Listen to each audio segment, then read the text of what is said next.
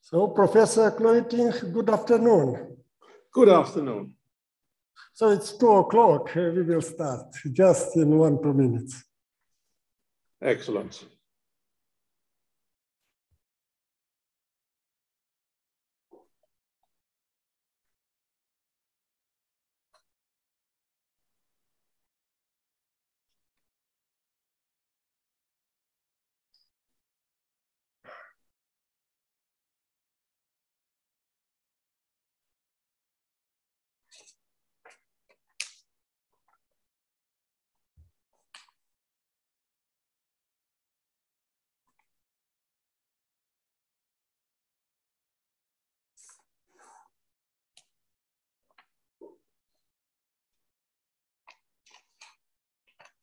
Stimați membri ai Academiei de Știință a Moldovei, distinși cercetători, stimați oaspeți,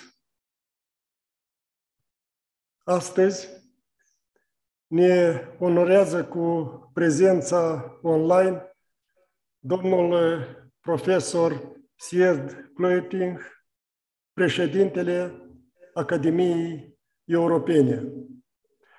Domnul profesor planifica să vină la Chișinău și astăzi, în sala Azurie, trebuia să audiem trei lecții publice, dar din cauza pandemiei, coronavirusului și a tulpinii Omicron, cu regret, zborul a fost anulat, dar sperăm că în viitorul apropiat această vizită va avea loc. Domnul profesor trebuia să vină împreună cu doamna profesor Eva Condorosi, dar ambii au anulat zborul. Uh, înainte de a trece la realizarea agendei, tradițional audiem compoziția muzicală a domnului profesor Constantin Rusnac, doctor honoris cauza Academiei Știința Moldovei. Vă rugăm.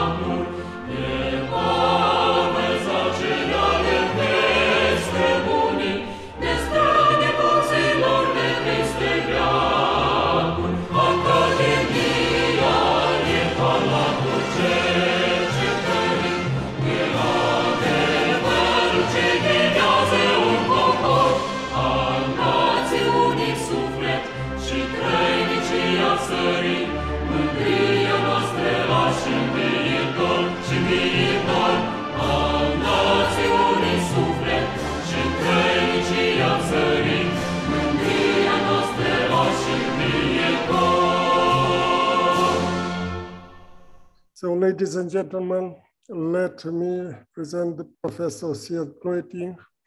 He is Utrecht University Distinguished Professor. His research field is earth sciences. He published more than 376 papers in international peer-reviewed journals and has been promoter of close to 80 PhD students of 18 different nationalities. Currently, he serves as president of the Academy European, member of, and interim chair of the board of SAPIA, Scientific Advice for Policy by European Academies, and chair Regional Coordinating Committee Europe of the International Lithosphere Program.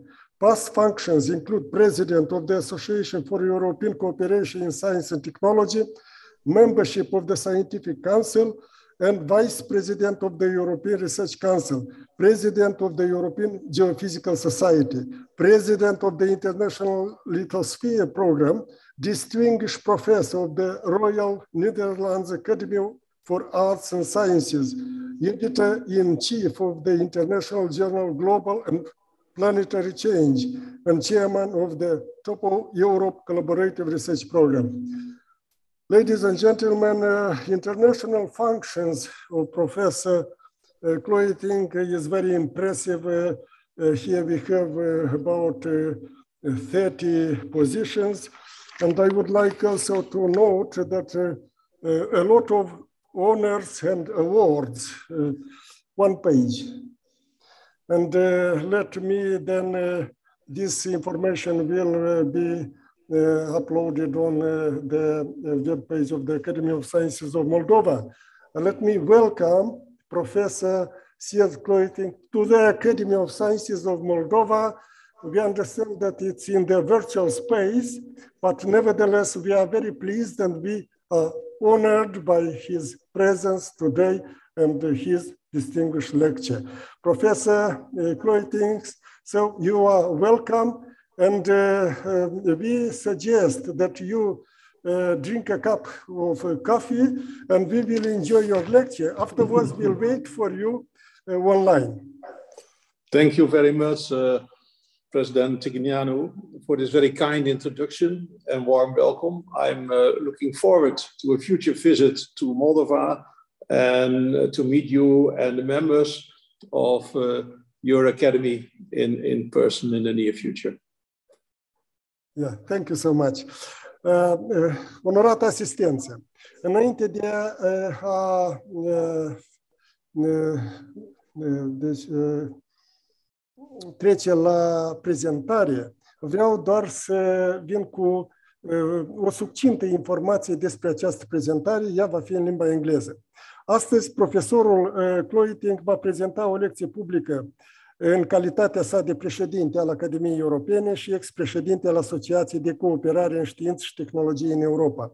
În discursul său, profesor Sir Cloeting va menționa faptul că Academia Europeană a fost fondată cu 33 de ani în urmă, în decembrie 1988, în Cambridge, cu scopul de a promova valoarea cercetării europene, a formula recomandări pentru guverne naționale și agenții internaționale, a încurajat cercetările interdisciplinare și internaționale în toate domeniile, în special în legătură cu problemele europene, a identifica subiecte de importanță transeuropeană pentru știință și a propune acțiuni adecvate pentru ca aceste probleme să fie studiate în mod corespunzător.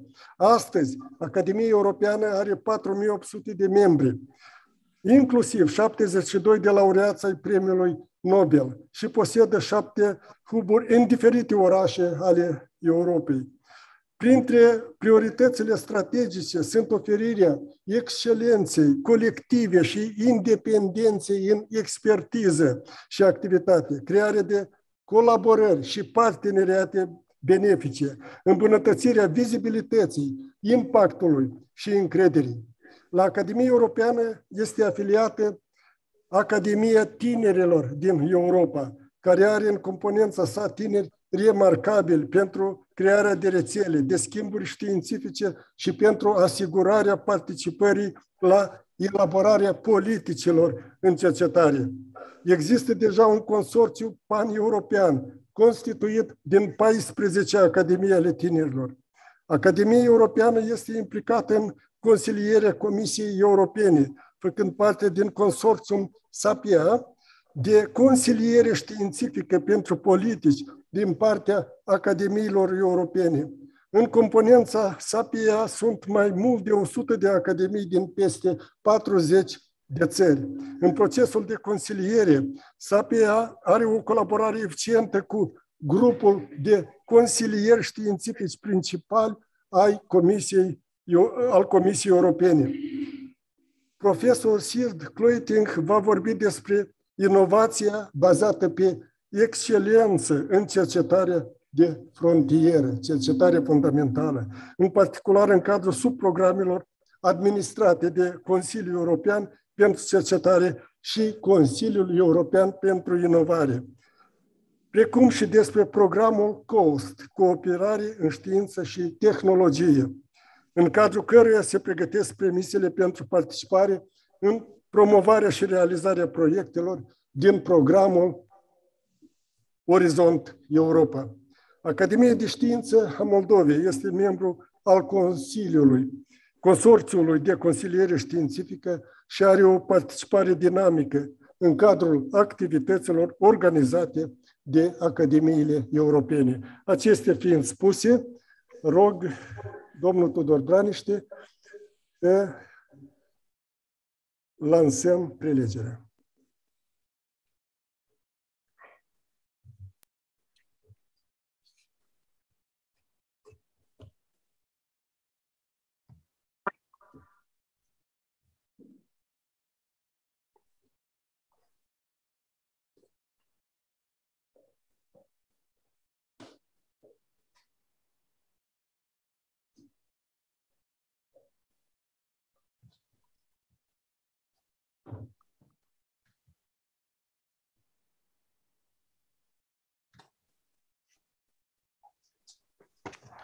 Dear President Tignano, thank you very much for your kind invitation to share with you and the members of the Moldova Academy some perspectives on frontier research, education and innovation in the era.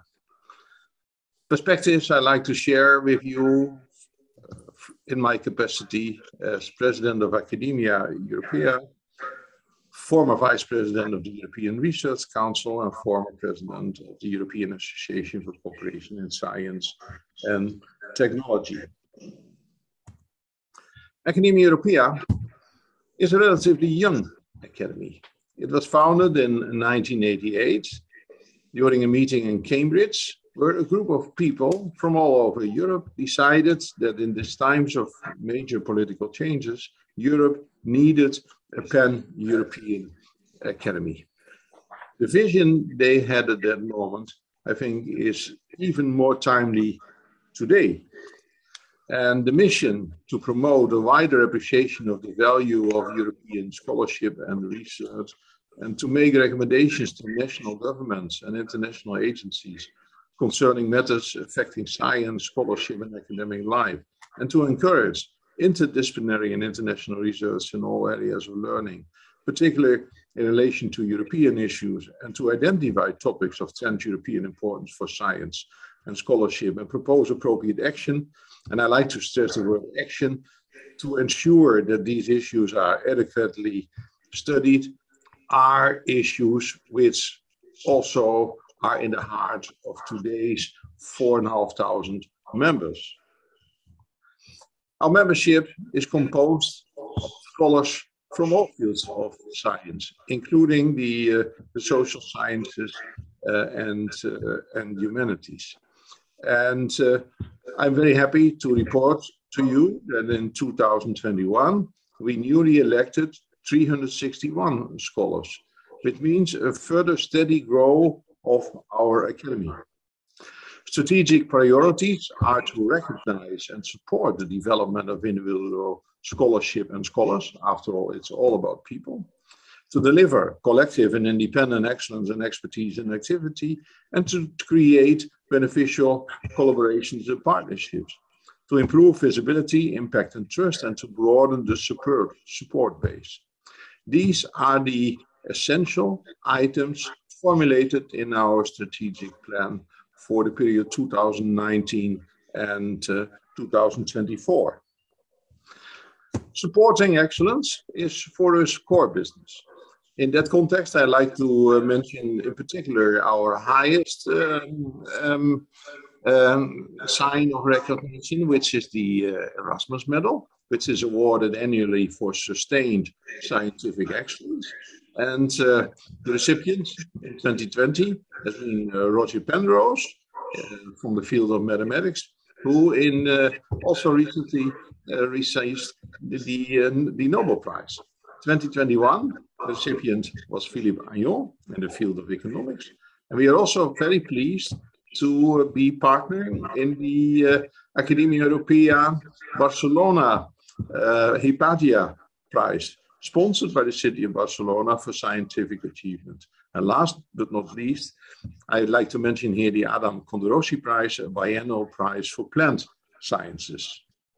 Supporting excellent activities is also taking place in the uh, Hercules Group, higher education, research and culture in the European society, a group that is also very active in, uh, in producing publications for uh, outreach and of course publications that, that go also beyond the, uh, the membership of uh, Academia Europaea. Supporting excellence is also taking place in the different classes. And here I like uh, to give you some examples of what Class B has been uh, doing in the last uh, few years. Uh, numerous workshops and activities in the different fields covered by, uh, by Class B and in many cases uh, published in our house journal, European Review, published by Cambridge University Press. Same is true for uh, class C, which I like to show you as another uh, example. Uh, many seminars on items like new perspectives on, on COVID, but also an important participation in the Vienna Congress of this of this year. A few words about the governance. We have a compact board of trustees uh, presided um, uh, by President uh, we have uh, a vice president, we have a treasurer, and uh, then we have, of course, in the board also the editor-in-chief of the European Review, Professor Theo de Haan, and Professor Condorossi. Her portfolio is widening uh, participation, and she is also taking care of the liaison with the Young Academy and the European Research Council, and uh, other members are in our board in their capacity as uh, either a class chair or a director of um, uh, one of our uh, of our hub. A very important person also in this context is our executive secretary, Dr. David Coates. Academia Europaea is a true pan-European academy with hubs all over Europe. And here I would like to share with you the location uh, of our, our hubs. Here you see some pictures of the, uh, the hubs, most times uh, located um, in a research institute or a, a university. And uh, each of these herbs has a regional uh, and a thematic focus. What is also important is our affiliation with the Young Academy of Europe. Young Academy of Europe is a pan-European initiative uh, for outstanding uh, young scientists for networking, uh, advocacy uh, and scientific and science policy. And this is a spin-off of the European Research Council, essentially, a group of young scientists who had received the starting grants of the ERC decided that that also carries with it some responsibility to take the future of their own generation on their shoulders. And uh, what I also like to mention here is uh, another important uh, development um, on the initiative of the European Commission, and that is the uh, installation of a mechanism for science advice for policy. And what is a crucial element here is the involvement also of the academies of Europe, amongst them Academia Europaea, but also federations of national academies, such as EuroCase, a federation of national academies in engineering, ALEA, federation of all European academies, FEAM, federation of medical academies, and seconded by the European Academy Science Advisory Council.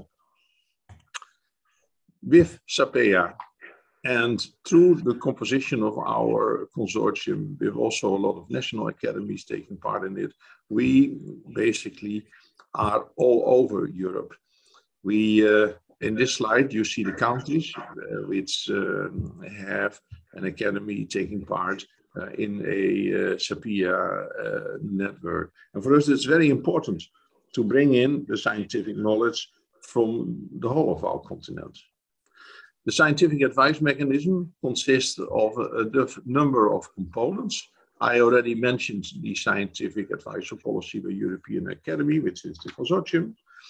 But we work very closely together with a compact group of seven chief scientific advisors, chaired by Nicole Grobert, who is the former president of the Young Academy of Europe and I'm very happy, of course, also that in that group of chief scientific advisors, so we have Professor uh, Eva uh, member of our board.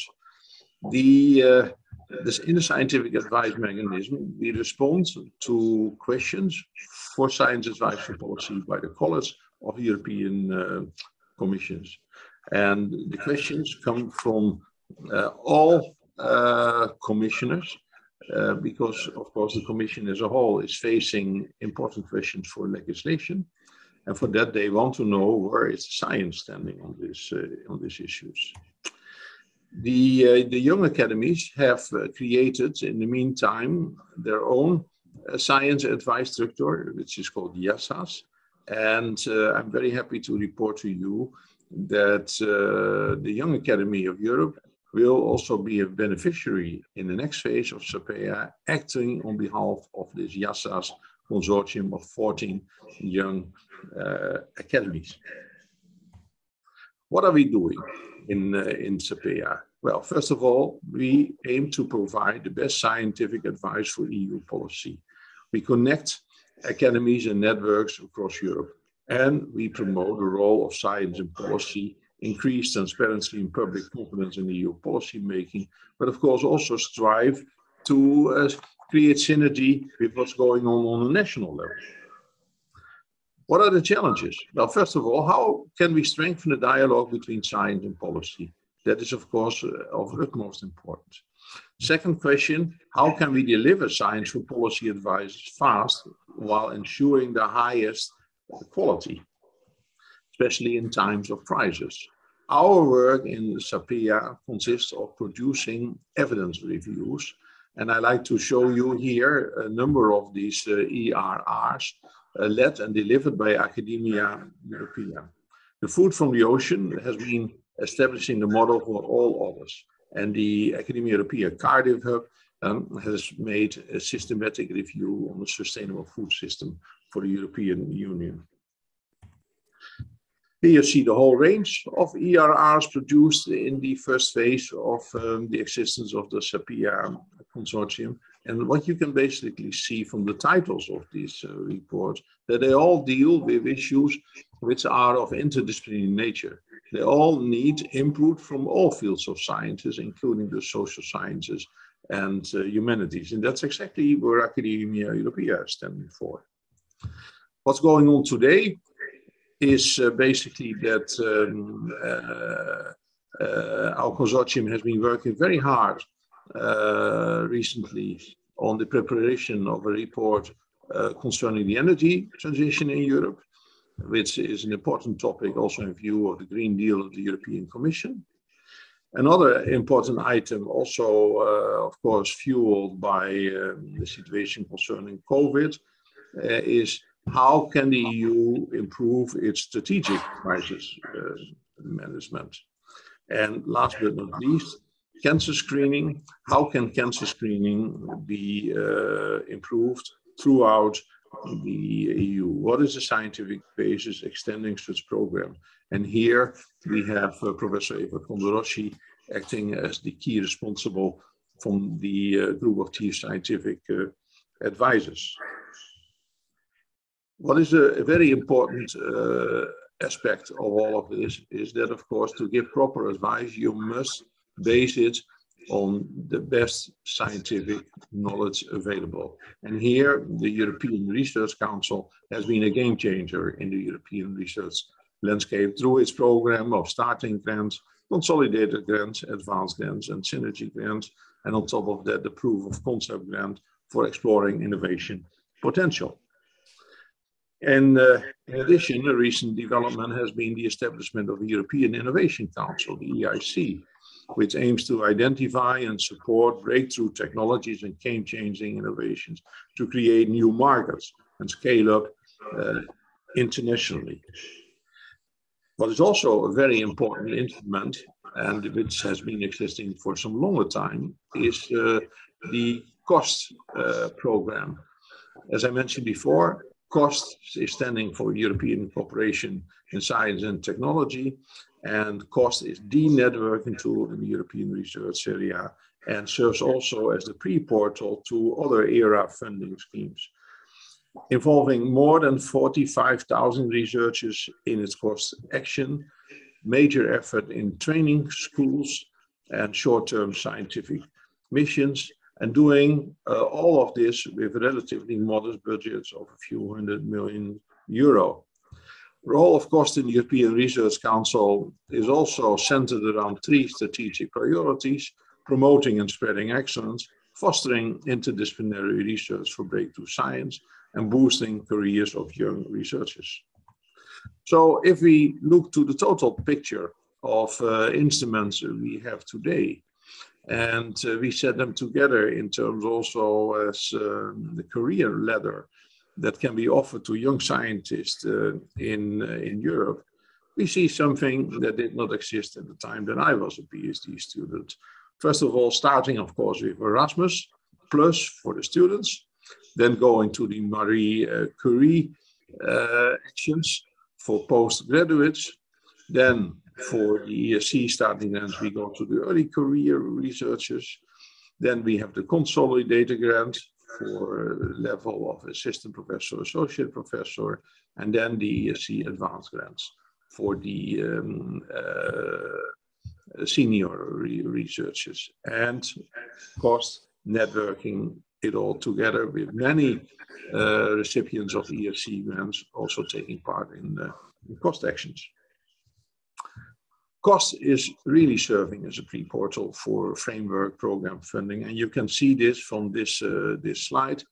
Uh, from, um, if you look to the uh, 2022 uh, Horizon applications reported by finished cost action, then you basically can see that people who have been involved in cost actions and submit a subsequent proposal to Horizon have had a success rate of more than 30%. And uh, if you realize that the standard success rate in uh, EU programs is typically around 10 to 15%, then you can see this is a major improvement. So having coaching and networking prior to applying to the big grant schemes really pays off very well. COST has recently established an innovator grant a new funding scheme for ending cost actions, again, to explore innovation uh, potential of findings of frontier research, uh, bringing things closer uh, to the market and to the applications in society. So altogether, we have the instruments. We have a lot of talent in Europe. And uh, of course, for our uh, Academia Europaea, it is very important uh, to uh, contribute to widening European participation in all these, uh, these schemes. Academia Europea is all about people. They make the difference for our academy, and we count on you here in Moldova for on your active involvement in our activities. Thanks very much for your attention. Thank you so much. Uh, so Professor Kluiting, uh, you are online. Uh, so, uh, ladies and gentlemen, the presentation is open for discussion, questions. Uh, Professor Kluiting, I have uh, such a question uh, in connection with the fact that we would like to, we are going to create an academy for young scientists. Um, Young Academy of Moldova, let's say. And uh, so you mentioned that the Young Academy of Europe is affiliated to the Academia Europaea. What means affiliated? What is the meaning of affiliation in this case? Thank, thank you very much uh, for this uh, for this question. Uh, first of all, the uh, Young Academy of Europe uh, is a bottom-up initiative by the young researchers uh, them, themselves. so they have their own organization. They are completely independent, but at the same time, we are very happy to have some joint activities with them and for example, to organize jointly the annual conference of Academia Europaea and the Young Academy of, of Europe. They are also clearly a pool for uh, election of new members in our uh, academy because these are very talented people. And uh, for, for us, it's very important to support them also with logistic uh, support through, for example, the facilities that we can provide in, uh, in, in our hubs, uh, which are all over Europe. And a number of our hubs serve already in this, uh, in this capacity, including, for example, the Cardiff hub and the, and, and the Munich hub. What is also important is that before joining the next phase of the SAPIA consortium, already we uh, were inviting experts uh, from the membership of the Young Academy of Europe in the SAPIA uh, working groups uh, preparing the evidence review uh, reports. So we clearly have synergy here. These are two, let's say, separate organizations, but of course have an interface. And uh, that's the way it, it, it, it, should be. and again, for us, it's a wonderful thing uh, to, to see that in this, uh, in this synergy, that we also can have an interaction between different generations. Uh, and that is uh, something that uh, occurs also, uh, for example, in the Costa Association, where we see also this mix of early career scientists, mid-career scientists, and, and, and senior researchers. Thank you. Thank you very much. Uh, we have in the blue hall of the Academy of Sciences, Professor Emil Ceban, rector of the State University of Medicine and Pharmacy. So he has a question, please, uh, please, please come to the microphone.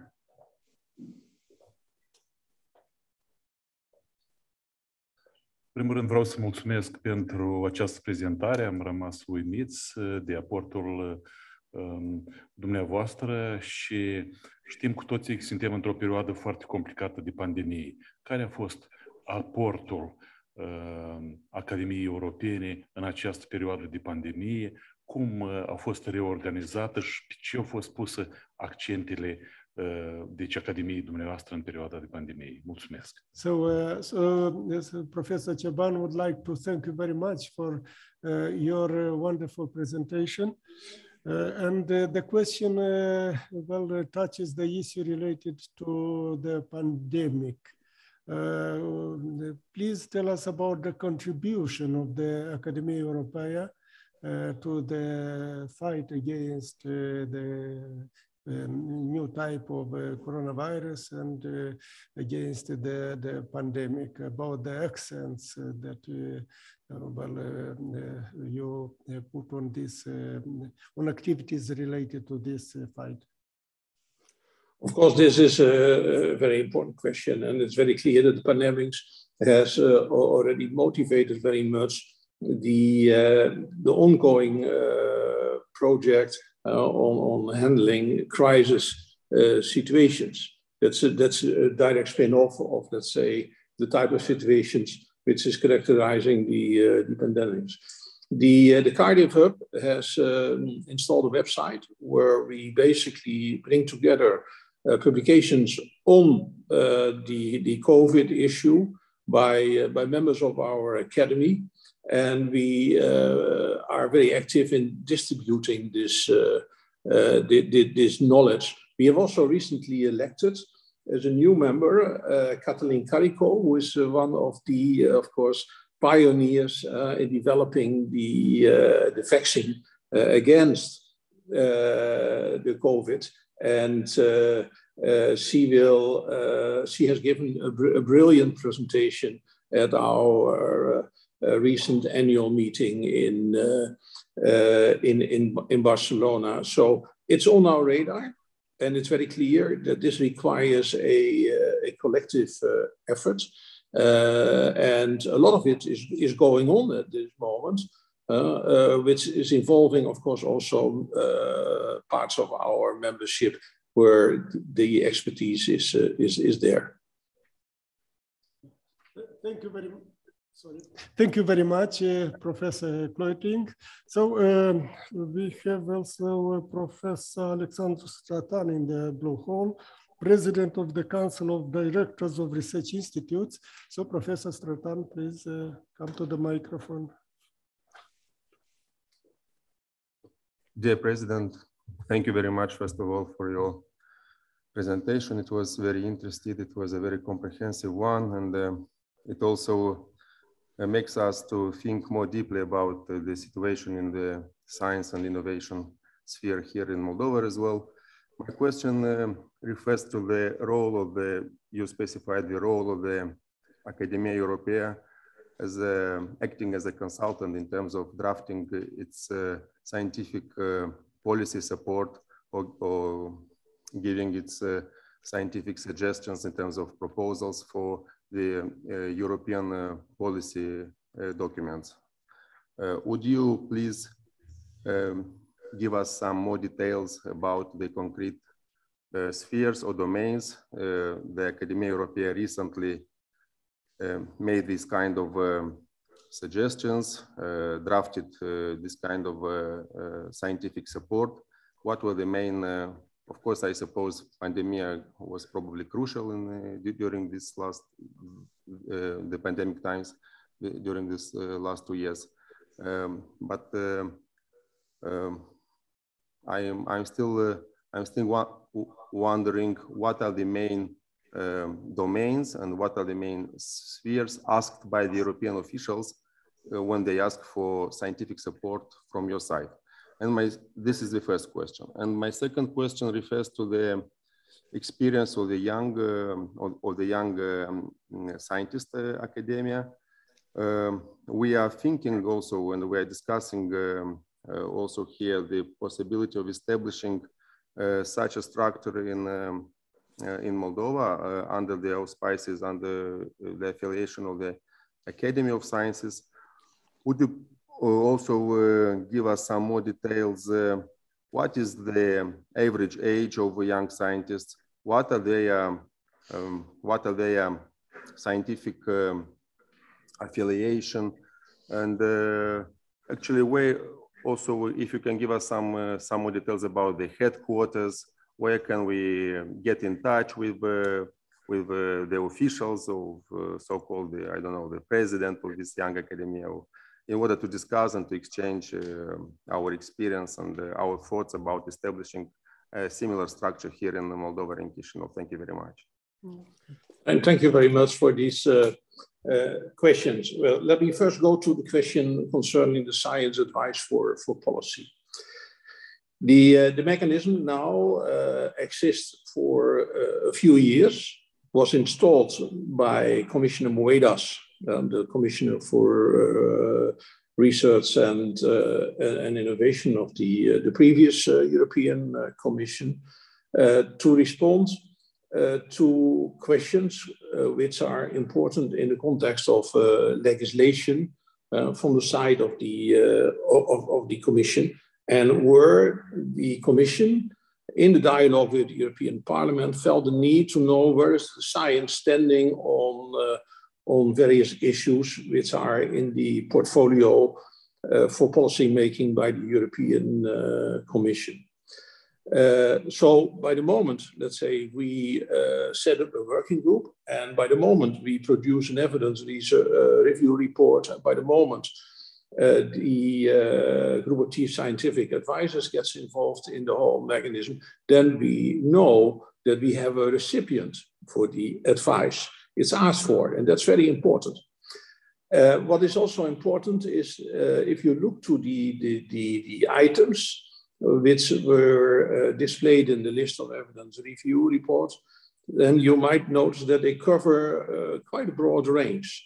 Uh, uh, one of the first reports was food from the ocean. This was motivated by the question from the Commission how to feed a growing population, not only in Europe but worldwide, uh, with what we can get out of the ocean. So far, basically uh, uh, with fishery, we are hunting, so to say. But what can we do in terms of uh, harvesting from the ocean food? Another issue is this uh, uh, issue of uh, biodegradation of, of microplastics, a very important problem on a global scale, but also certainly for, for, for Europe. Commission wanted to know where are we standing with the science uh, when we make the legislation.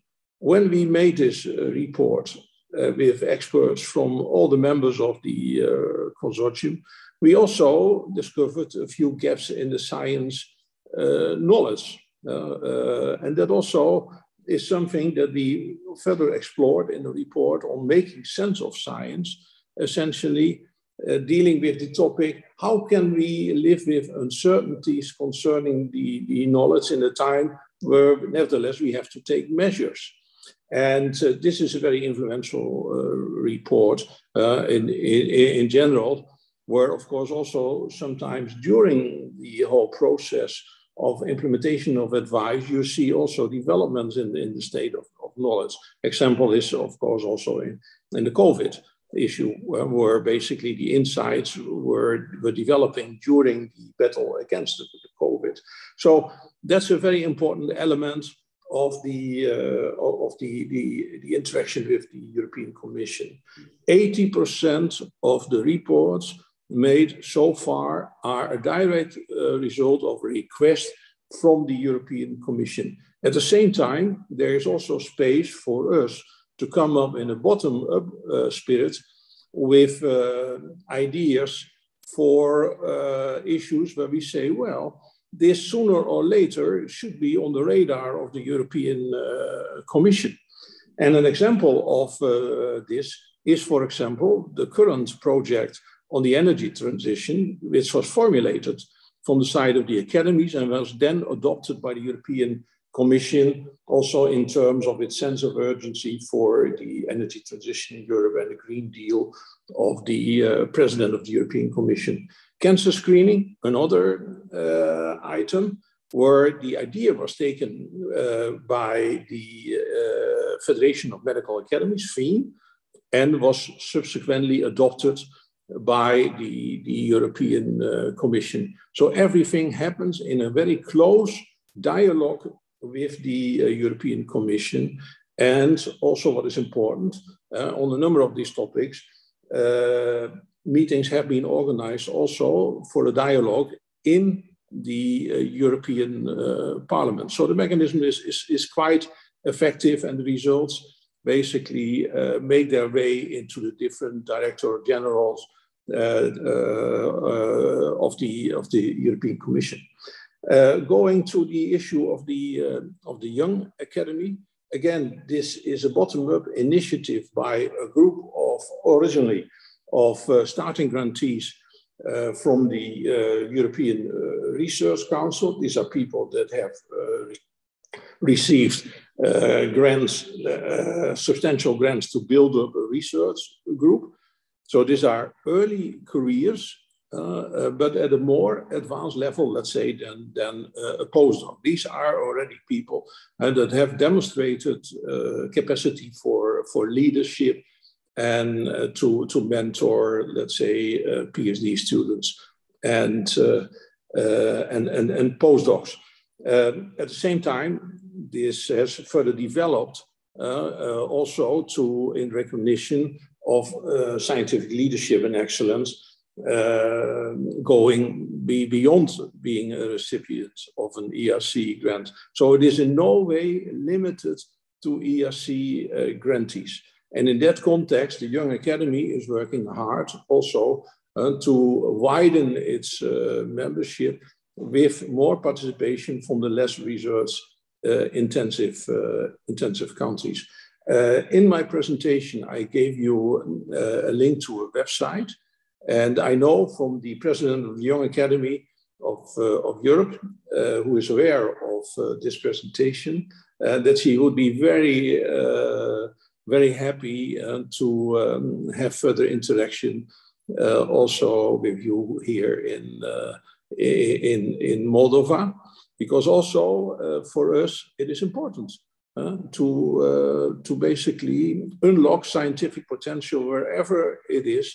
Cost is doing this in a very effective way, um, but it's also very clear that we must continue our efforts also to broaden the base uh, in other organizations including Academia Europaea and the Young Academy of, uh, of Europe.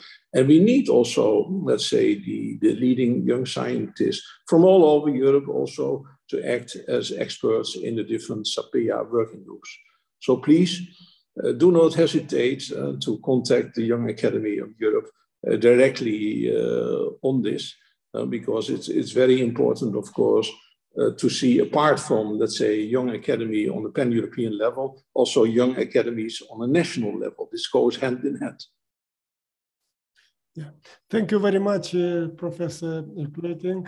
I uh, uh, do not see more uh, questions uh, from the blue hole and also from the chat. so from the chat, there is one question, please, the last one. From the chat, who would like to, from Ah, from, yeah, please. Uh, I see uh, uh, a hand raised. Boyinchan, Professor Boyinchan, please, yeah. the last question. Thank you. Thank you very much, dear President. Dear Professor Serd Plotkin, many thanks for your very interesting presentation. You have inspired us to participate more actively in the European programs, including in PLOST, uh, you have mentioned uh, during your presentation about uh, the systematic literature review regarding sustainable food system. We are very interested in such information. Are there any ways to have access to such such information? Thank you very much in advance. Absolutely. Uh, please do not hesitate to contact the, uh, the Cardiff Hub, uh, who is doing the systematic reviews for the uh, SAPEA consortium. Uh, and uh, the Cardiff Hub is, is one of the seven hubs of Academia uh, Europaea. And they're called upon this systematic literature reviews, not only by Academia Europaea, but by all partners in the uh, in the in the SAPEA consortium. And they will be very happy uh, to to share this information with you. So please send a mail uh, on on this, and I will forward this to the people in in Cardiff. Many thanks. Yeah. Uh, so uh, there are no more questions, uh, uh dear Professor Kloiting. Thank you so much for, for your um, uh, public lecture. Very interesting uh, lecture and very useful for us researchers in the Republic of Moldova. let me, on behalf of the scientific community of Moldova, to wish you good health, prosperity, and much success in your future activities. And uh, so we are looking forward to welcoming you to the Republic of Moldova as soon as possible. Merry Christmas and Happy New Year. All the best to you, your colleagues, and your family. Many thanks again, and the same to you, and looking very much uh, to uh, meet you in the very near future uh, in person in Moldova. Thanks again for the invitation and to deliver this presentation uh, today. Many thanks. So bye. Bye. Ladies, ladies and gentlemen, so uh, mai avem o uh, chestiune de uh, două-trei minute. O să rugăm pe domnul Tudor Braniște să uh, expună uh, despre inițiativa uh, referitor la Academia Tinerilor. Două minute, domnul. Da, mulțumesc. Stimați membri ai comunității academice, vreau să vă informez cu privire la inițiativa de a crea Academia Tinerilor Cercetători, o platformă a tinerilor care va contribui la promovarea excelenței științifice, precum și valorificarea noilor oportunități pentru tinerii cercetători într-un mod focusat și colectiv. Din cadrul acestei inițiative fac parte aproximativ 20 de tineri recomandați de către directorii institutelor de cercetare, iar drept exemplu privind înființarea acestei structuri sunt Academiile Tinerilor din țările Uniunii Europene și altor state. Astfel, urmează în uh, timpul apropiat să stabilim regulamentul și planul de activitate pentru următoarea perioadă de timp. Cam asta este. Vă mulțumesc. Vreau să vă atrag atenția că domnul uh, Braniște a informat uh, prezidiul Academiei de Știință a Moldovei despre această inițiativă. Desigur că are tot suportul și noi așteptăm ca tinerii să creeze această academie și să se implice în elaborarea și de politici și să se implice, desigur, în promovarea excelenței în cercetare. Dar cel mai important, eu cred, să se implice în atragerea tinerilor chiar de pe băncile liceilor. Asta este foarte important. Vă mulțumim, domnul Braniște. Onorată asistență, noi avem câteva minute, vreo șapte-opt minute, facem o mică întrerupere la ora 3, vom continua ședința și pe la ordine de zi, pe agenda, este, sunt totalurile audierilor publice ale rezultatelor științifice obținute în cadrul proiectelor din programul de stat. Etapa 2021 vor veni vicepreședinții persoane responsabile și vor veni cu o informație, o totalizare a rezultatelor după audierile publice care au avut loc la Academia de Știință a Moldovei. Deci, pauză 7-8 minute. Vă mulțumesc!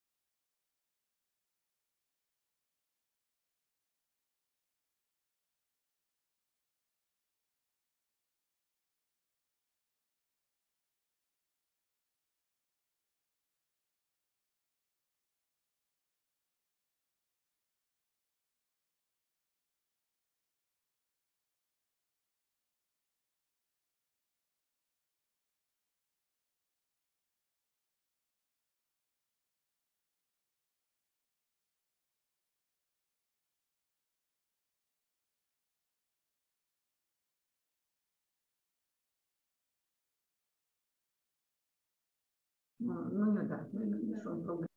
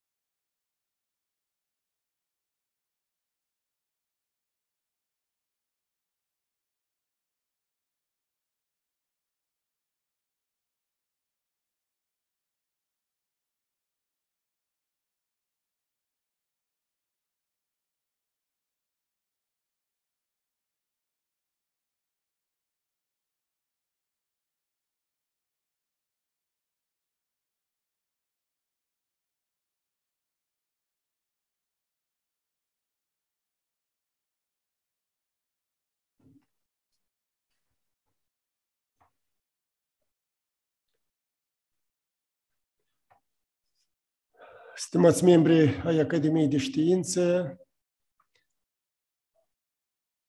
stimați cercetători, membri desemnați ai secțiilor de științe, onorată asistență, cei prezenți în sala Azurie și în spațiul virtual.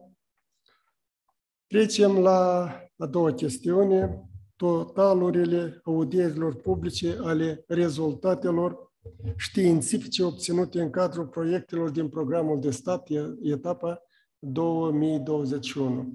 După cum deja am menționat, au avut loc audieri publice, ele au fost organizate în mod transparent, au fost transmise în timp real pentru toată societatea, mai mult decât atât, înregistrările sunt și ele vor fi accesibile atât pentru comunitatea științifică, cât și pentru societate.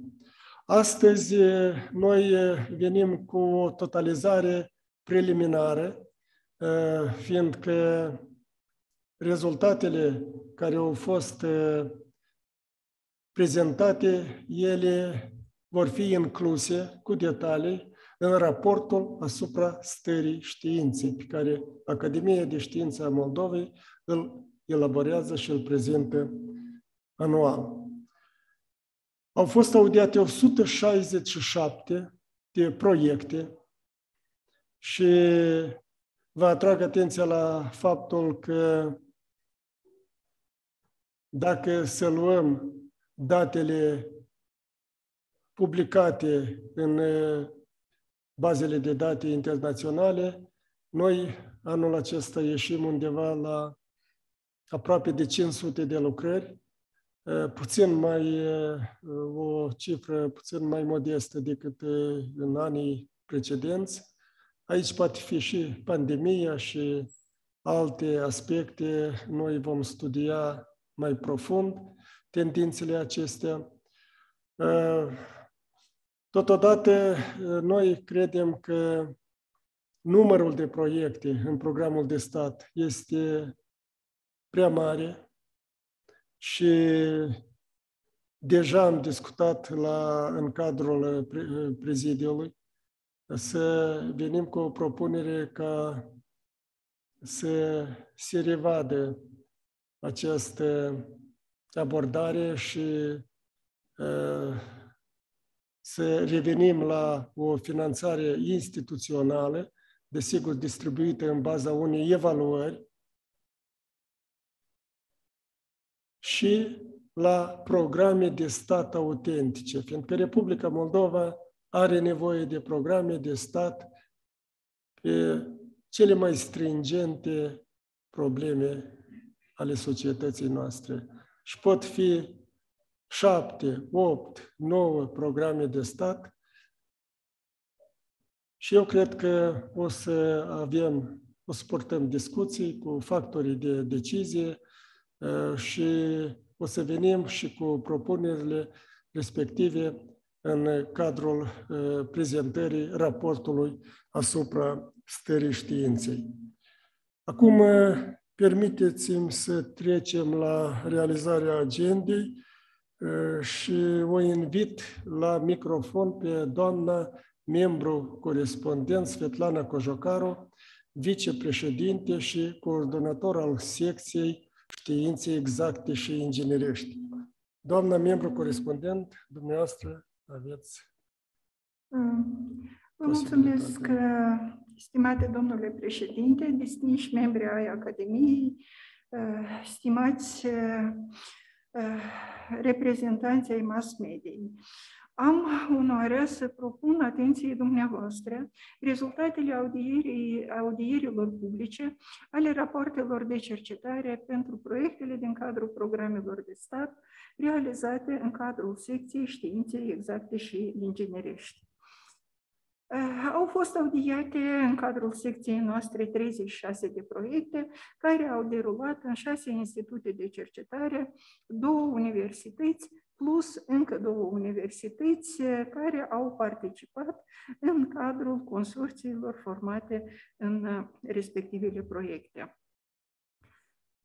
Ceea ce caracterizează rezultatele acestor proiecte cele mai importante, cele mai interesante rezultate este caracterul interdisciplinar al uh, acestor rezultate. Uh, vedeți din uh, diagrama afișată doar o parte dintre multiplele relații între diferite domenii în cadrul cărora au fost obținute aceste rezultate pe care le prezentăm. Deci, primul domeniu este alchimiei, mai exact interacțiunii chimiei pentru uh, obținerea unor substanțe chimice în, uh, cu proprietăți antimicrobiene, antifungice și antitumorale. Uh, aici au fost obținute astfel de substanțe care pot contribui la tratarea eficientă a bolilor uh, cu un spectru foarte larg.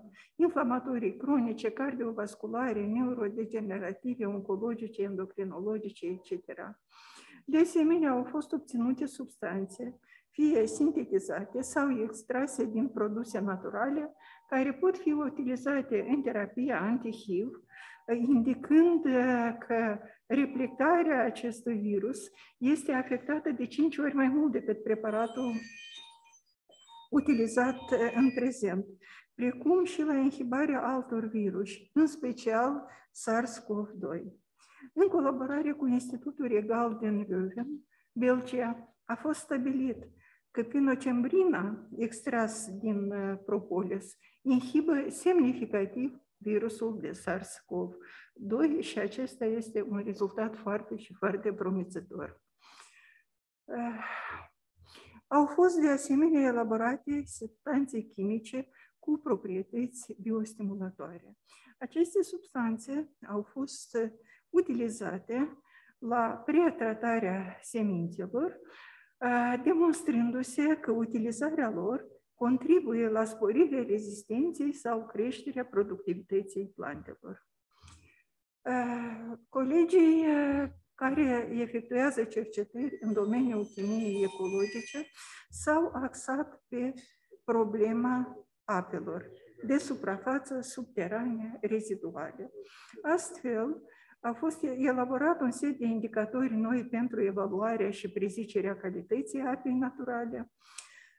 Au fost propuse tehnologii de potabilizare a apelor subterane pentru Comuna Pănășești, Comuna Coșcodeni și Comuna Sculeni, raionul Ungheni. A fost demonstrată acțiunea preparatului inhibitor tiamin CT15 asupra proprietăților de sedimentare a namolului activ din apele uzate la stația de epurare biologică Chișinău, precum și la stația de epurare biologică din Călăraș. În domeniul optoelectronicii, spintronicii și fotonicii au fost obținute anumite rezultate care pot constitui baza tehnologiilor viitorului. Au fost elaborate noi materiale pentru acoperiri termocromice care pot fi utilizate în designul ferestrelor inteligente. Au fost elaborate materiale ce pot fi utilizate la construirea unor dispozitive electronice, optoelectronice, fotonice, spintronice și informaționale cu capacitate de înregistrare sporită, ceea ce este foarte important în, în perioada sau în epoca când este necesar de prelucrat volume mari de date.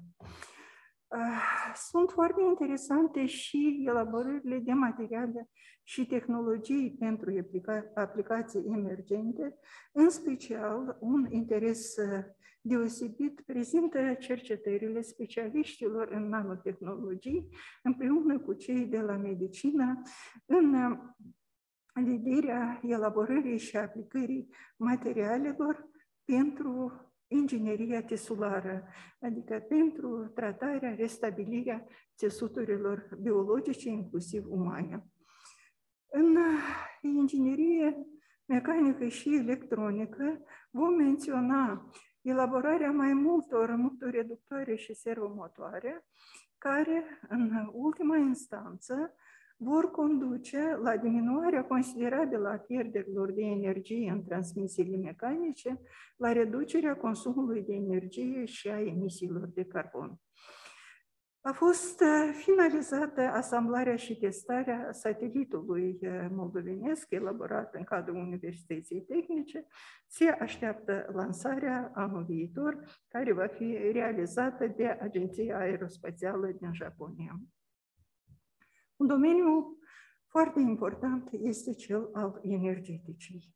Aici vom menționa elaborarea soluțiilor tehnice pentru instalații de dirijare cu rețelele de transport, precum și cele de distribuție a energiei electrice, utilizarea mai eficientă a resurselor energetice prin implementarea surselor de energie regenerabilă și celor distribuite. Uh, un moment uh, foarte important, un rezultat foarte important, este, îl constituie elaborarea scenariilor de dezvoltare a sistemului energetic cu emisii reduse până în anul 2050. Aceste scenarii țin cont și de capacitățile statului de a acorda suport financiar păturilor social vulnerabile ale populației. Locuim într-o zonă seismică de aceea, elaborările în domeniul geologiei și seismologiei sunt de un interes și o importanță deosebită. Din uh, mai multe rezultate obținute în uh, acest domeniu, uh, voi menționa faptul că în acest an au fost actualizate hărțile de zonare seismică. Carta precedentă a fost elaborată cu 15 ani în urmă. S-au produs, desigur, mai multe schimbări și cele actualizate reflectă, pe de o parte, mai adecvat pericolul seismic, pe de altă parte, sunt realizate în termeni specifici eh, standardelor europene. În domeniul matematicii au fost efectuate cercetări fundamentale și aplicative. Astfel, deci, au fost elaborate modele deterministe și stocastice pentru determinarea ritmului de creștere a produsului intern brut pentru Republica Moldova în condițiile epidemiei COVID-19.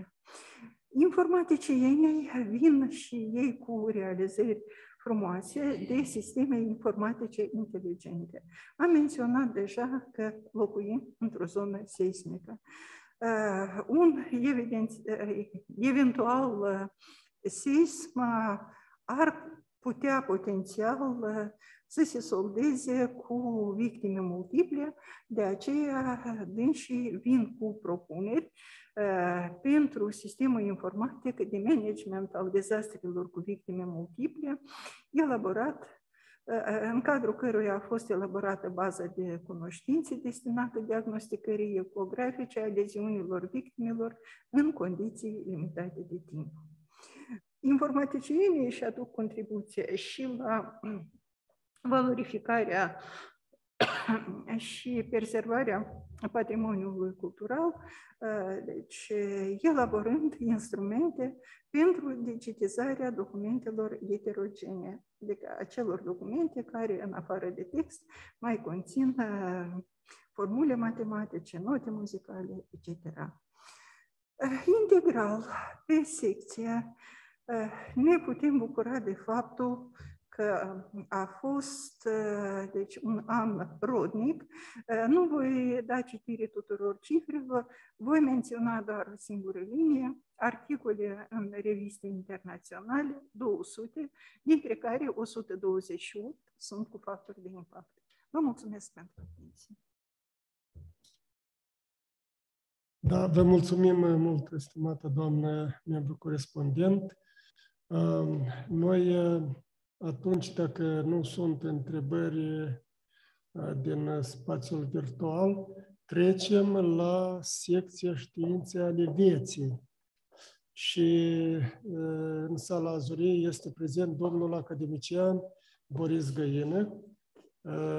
Domnul, domnule academician, vă rog să vă opriți asupra domeniilor dumneavoastră.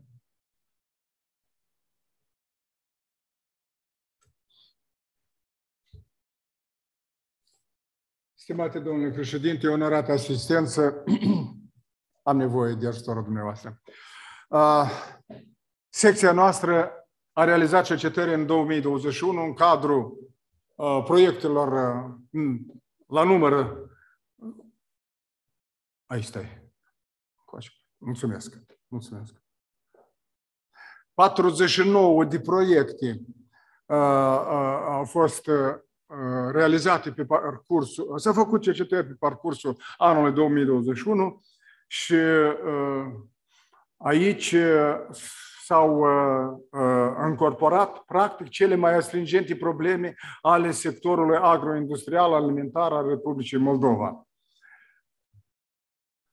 A fost în domeniul agriculturii evaluat rolul biodiversității culturilor de câmp. Această lucrare realizată în mai multe institute, Institutul Culturilor de Câmp, Institutul de Pedologie, Universitatea Agrară uh, de Stat uh, din Moldova și alte uh, entități au permis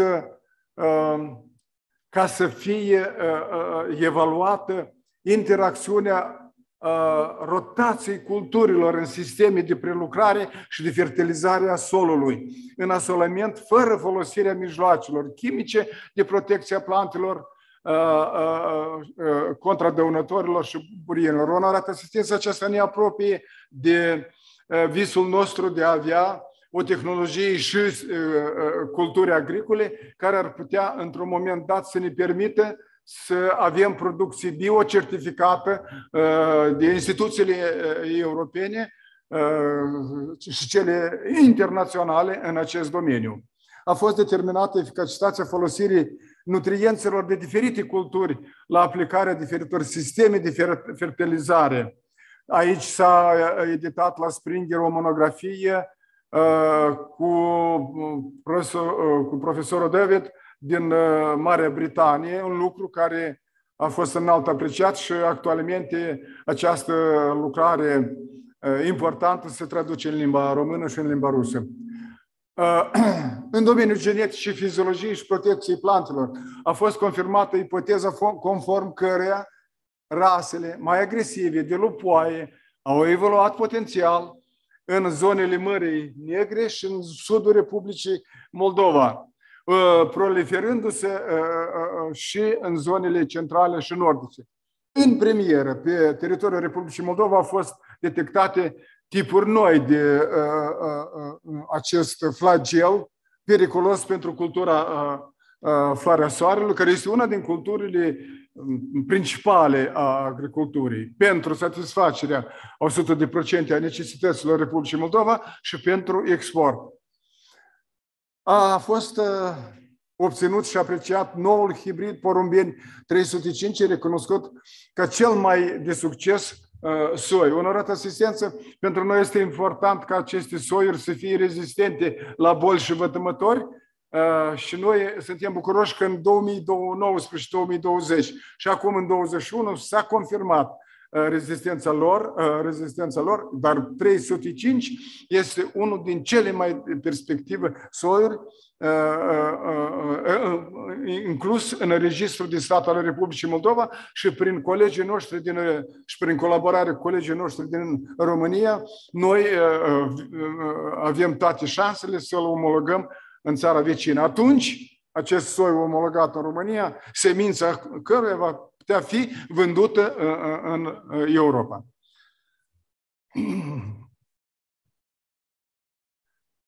Cu utilizarea metodelor Nested, PCR și PCR în timp real, au fost evaluat spectrul de fungi din probele de material semincer depozitate în banca de gene și realizată identificarea moleculară a fitopatogenilor din semința culturilor cerealiere și leguminoase.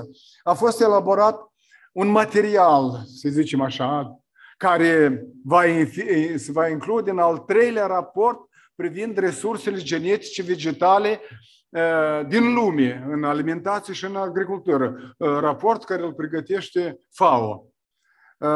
Prin studii biochimice și fiziologice a fost demonstrat că rezistența primară a genotipurilor la grâu și porumb, la acțiunea temperaturilor excesive și la influența regulatorilor naturali de creștere poate fi determinată în baza criteriului costului alocat pentru acumulare mijloace microbiologice pentru puterea culturilor agricole în agricultura ecologică. În două cuvinte, onorată asistență. Acest material, domnul președinte, va fi plasat pe site. O să-l găsească ori și cine, ori și când. Cu plăcere. Noi suntem în căutarea botridicidilor biopreparatului sanogen, dar care atacă o altă ciupercă. Trichoderma este gata să atace botritis cinereia în perioada de proliferare și aceasta ne permite să excludem utilizarea preparatelor chimice toxice, inclusiv a celor sistemice.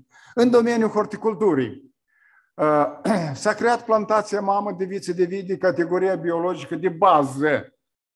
Și e foarte important că la Institutul de horticultură și tehnologie elementare a fost completată cu soiurile clasice, copceac, plăvai, crâmpășie, cu Moldova clona 2 uh, cu performanțe agrobiologice, uh, soiul chișmiș moldovenesc, pe care Italia, domnul președinte, l-a luat la uh, asanare, multiplicare, realizare și plătește Institutului Royalty. Este o Uh, realizare în premiere. Uh, la fel, în uh, acest institut, în anul 2021, s-a reușit să obțină vinuri de calitate superioară le numim bio, din soiurile cu rezistență sporită, Legenda, Luminița, Riton, Viorica și altele, din selecția națională nouă. A fost completată colecția de clone de virozate, un soi de cais, un soi de persic, un soi de noi de măr, S-a efectuat uh, uh, acumularea și sistematizarea materialelor necesare pentru actualizarea fișelor tehnologice privind cultivarea speciilor de cais, prun uh, și suc și alte realizări acestui cunoscut institut. A fost uh, conceput un algoritm pentru precizie prin absorpția ferului alimentar pe baza conținutului de factori alimentari care au o capacitate de a proma sau a inhiba absorpția ferului. Dumneavoastră știți foarte bine că uh, populația Republicii Moldova are nevoie ca în uh, produsele alimentare, inclusiv pâine, conserve, concentrate, să avem uh, concentrația necesară organismului uman în fier și alte microelemente importante pentru un metabolism normal al organismului uman. A fost dezvoltat și validat metoda de detecție și cuantificare a ADN-ului bacteriilor patogene, salmonella, folosind metoda lanț, polimerizarea în lanț, qPCR și alte realizări în domeniul producerii produselor alimentare igienice. Zoologia. Pentru prima dată au fost identificate specii noi de paraziți specifici pentru mistreți, pentru animalele sălbatice și domestice, a 70% și pentru om. Onorată asistență, cu părere de rău, dar o bună parte din paraziți atacă și organismul uman. Și iată acest institut cunoscut în toată lumea, Institutul de Zoologie, a propus o metodă foarte eficace de a hrăni animalele din pădure cu hrană care asigură inhibarea și nimicirea acestor paraziți. În domeniul microbiologiei s-a raportat la audiere onorată asistență preparate nano cu aur și cu argint la cultura cianobacteriilor care ne permit să determinăm procesul de biofuncționalizare a acestor culturi, care este un lucru foarte important și domnul președinte, nu ne pare bine că nanoparticulele au început de acum să intre în, nu numai în zoologie, biologie, dar și în cercetările din industria alimentară. Noi mizăm mult pe nanoparticule în uh, acest domeniu. Onorată asistență uh, a fost uh, pentru prima dată au fost programat un ciclu de lucrări cu un cluster investițional de degradare a polimerului, polimerilor. Lucru care este foarte important, nu numai pentru țara noastră, dar pentru toată lumea. Noi poluăm mediul insuportabil. Și iată uh, fierul și cobaltul în oxizii Sefer 3O4 și cobaltul mai puțin magniu uh, uh, au fost incluși în acțiunea microorganismelor pentru a spori eficacitatea lor de a se stabili, de a se imobiliza pe polimer și al de începe al distruge. Sigur că lucrarea este uh, intermediară. S-a dovedit efectul ăsta și prin cultivarea uh, boboaselor, culturilor boboase, care ne adaugă la cele menționate mai sus și azotul ușor asimilabil pentru microorganisme, ca aceste microorganisme cu o mai mare activitate să atace polimerele din deșeuri.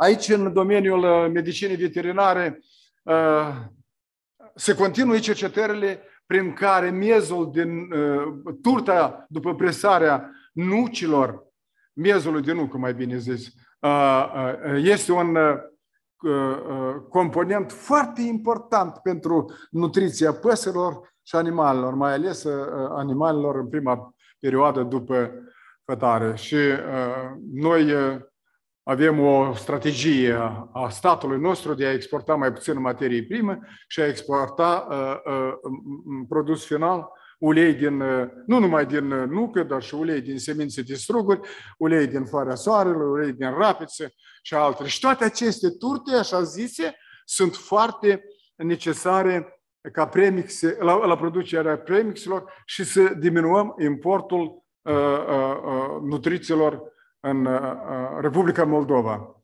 Au fost create nuclee de selecție a vacilor de rasa Holstein, uh, așa numită bălțata neagră, uh, tip moldovenesc și rasa Jersey. În arată asistență în acest domeniu s-a realizat încă o lucrare notorie, a fost realizată lupta cu unele boli la vitele mari cornute, inclusiv la leicoză. Republica Moldova în acest caz are succese apreciate și noi suntem în, în acest domeniu practic în rând cu majoritatea țărilor Uniunii Europene. Noi avem doar 20-25% de leicoză la vitele mari cornute, pe când în unele țări din CSI avem și până la 80.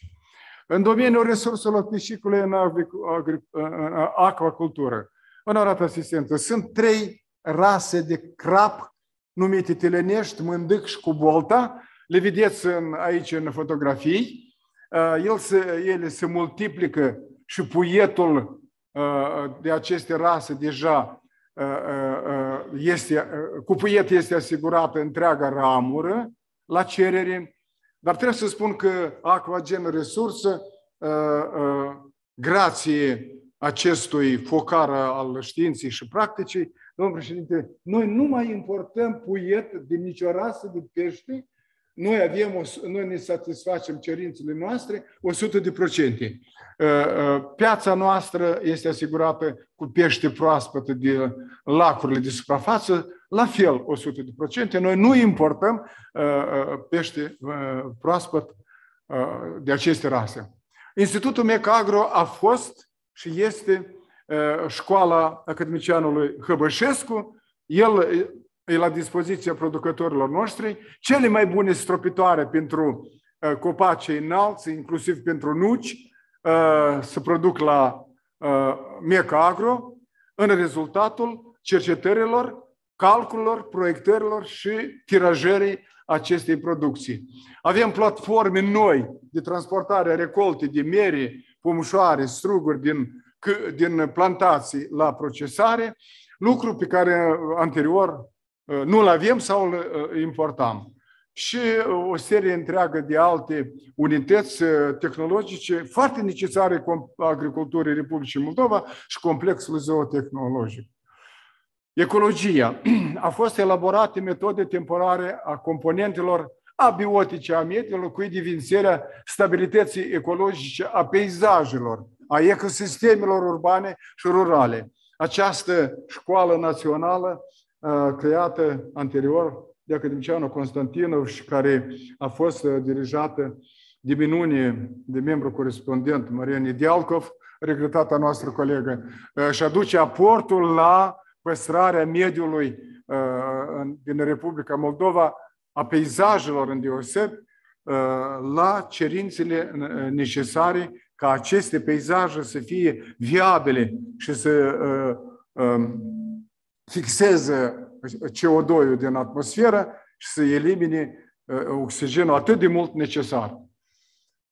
În domeniul fiziologiei și sanocretologiei s-a demonstrat că extractele și soluțiile biologice rezultate din produse vegetale cu diverse compuși fenolici și antocianici în concentrațiile uh, optimale influențează asupra organismului, sporește valoarea cantitativă și calitativă a materialului seminal, manifestat prin volum. Și doi, sporește mobilitatea, longevitatea și indicele absolut al supraviețuirii gameților masculini.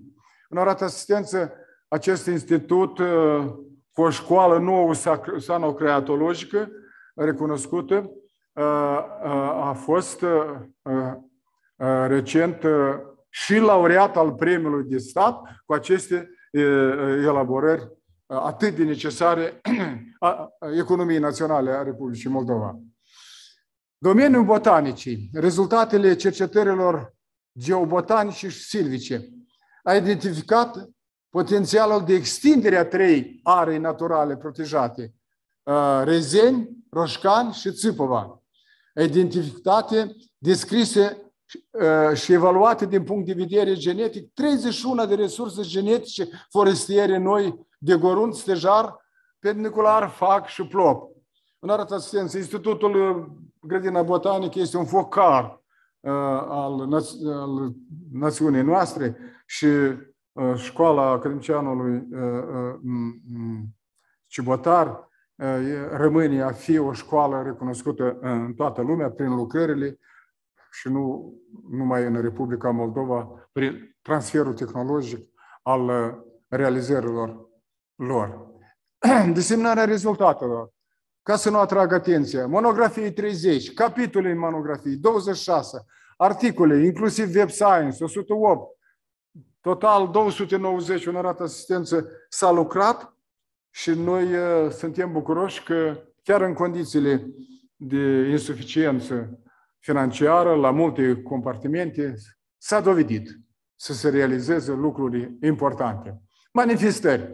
Uh, al 11-lea Congres Internațional a Geneticienilor în iunie 21 uh, și Conferința Științifică Internațională Genetică, Fiziologie și Ameliorarea Plantelor, octombrie 21 și Conferința Științifico-Practică Participare Internațională, Producerea de Semințe, lucru care este foarte important să ținem piept la invazia semințelor din uh, uh întreaga lume uh, a culturilor agricole. Conferința a 10 internațională a zoologilor, valorificarea uh, rațională și, și protecția lumii animale în contextul schimbărilor climatice, consacrată aniversării a 75-a de la crearea primilor subdiviziuni de cercetare și 60 de ani de la fondarea Institutului de Zoologie, septembrie 21. Putem uh, continua, de exemplu, conferința recentă, conferință uh, zoo-veterinară, uh, inovații în zootehnie și siguranța produselor alimentare, septembrie 21, organizată de cunoscutul nostru Institut de zootehnie, lucrările căruia au fost mai sus menționate. În final, onorată asistență, avem conferința națională cu participare internațională, actualități și perspective în studiul farmacologic al plantelor medicinale cu un workshop tehnici de identificare și obținere și aplicare a uleiilor volatile farmaceutice. Lucru care Universitatea noastră de medicină și farmacologie în colaborare cu Institutul Grădina Botanică, cu Institutul de Genetică și cu alte instituții din țară, universități, a realizat o, o, o, o trans, un transfer tehnologic important a culturilor medicinale, a plantelor medicinale în practică. Onorată asistență, vă mulțumim de atenție, domnul președinte. Vă mulțumim. Și noi vă mulțumim, domnule academician. Și dacă nu este nici o întrebare din spațiul virtual, fiindcă ne, nu văd în sala Zorie cineva să ridice mâna, atunci vă mulțumim și trecem Mulțumesc. la partea a doua. Deci, doamna academician Eva Gudumac, vă rugăm, dacă sunteți online, veniți cu o informație în domeniul medicinei. Doamna academician Gudumac... Am auzit, da? Da, auzim, da. Stimate domn președinte, după două informații așa de importante, desigur rămâne să vorbim de sănătate. Corect. Proiectele din medicină au fost 42 la număr și ele au fost motivate din câteva aspecte noi ale stării de sănătate din Republica Moldova și stare în vedere politica de sănătate. Ca atare, aceste proiecte au avut ca scop de a studia acele situații, acele maladii care sunt prezente în Republica Moldova, începând de la patologie sistemului nervos central, a cordului, a rinichilor, a ficatului, boli metabolice, dar în special patologiile care sunt legate cu scleroza, cu epilepsia, adică niște situații destul de agravante, mai ales prin faptul că acum lucrăm în condițiile pandemiei și toate cele 42 de rapoarte au fost adaptate anume acestor modificări care apar în pandemie, care el diferă foarte mult de acea evoluție a maladiilor care trece în alte condiții. La prim plan a fost un proiect legat cu anomaliile congenitale chirurgicale la nou-născut, sugar și adolescent în vârstă de 0-18 ani, unde ca atare s-a tras atenția la următoarele și s-au elaborat noi tehnici de diagnostic și tratament în perioada antenatală, când copilul s-a află în uterul mamei, și s-au apreciat factorii de risc de ce să nască așa copii. Și ca atare s-a văzut că are ca factor de risc alimentația a fetiților, cele care nasc de acum de la 12 ani, a mamelor, o alimentație destul de modificat în ultima vreme și sperăm că din raportul domnului Călincean Găină va fi o alimentație mai corectă și nu, nu vom avea aceste maladii grave ca rezultat al alimentației incorrecte a mamelor. Ca atare, afară de aceasta, procesul de migrație s-a apreciat care este ponderea lui și s-a apreciat în situația dată că marea majoritate a copiilor care se nasc în Republica Moldova S-a ajuns la concluzie că în anul 2021-20 s-au născut cu 9.000 de copii mai puțin decât anul precedent, adică este o natalitate destul de, de scăzută. Afară de aceasta, marea majoritate sunt prematuri, care se nasc înainte de vreme copii și o mare parte, 52%, sunt cu malformații asociate.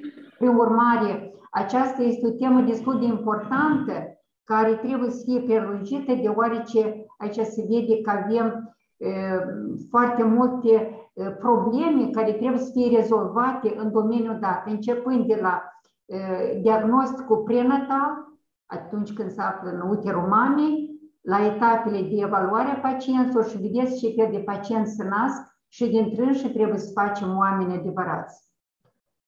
A doilea problemă, care este destul de serioasă, este problema modificărilor sistemului nervos central, anume epilepsia, care în ultima vreme e greu de spus care este cauza acestei epilepsii, dar ca atare, ce înseamnă epilepsie? Că nu omul cade, că nu omul cade, că nu are, îl poate de 3 de 4 ori pe zi, sunt o problemă destul de serioasă, care este rezolvat într-o măsură de care la noi Republica Moldova, dar aici se cer aparataje nu numai la nivelul unei instituții, dar în toate instituțiile medicale, a ceea ce deocamdată la noi lipsește.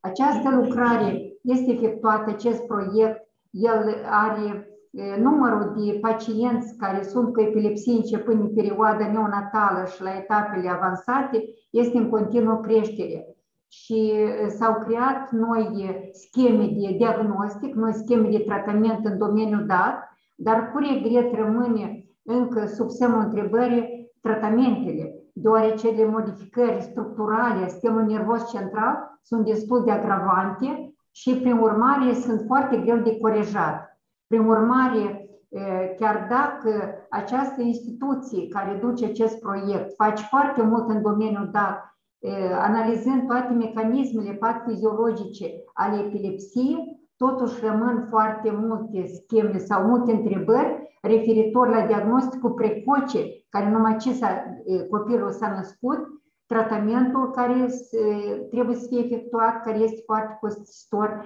dar aceste investigații se fac în domeniul dat și, pe urmare, nu, eu înțeleg ce înseamnă într-o familie ca să avem un copil sau un adult care suferă de epilepsie. Asta este o problemă destul de serioasă, că noi putem să ne reducem ceva din alimentație, dar atunci când avem așa o patologie gravă, desigur aceasta este o traumă pentru familia întreagă și pentru societatea noastră.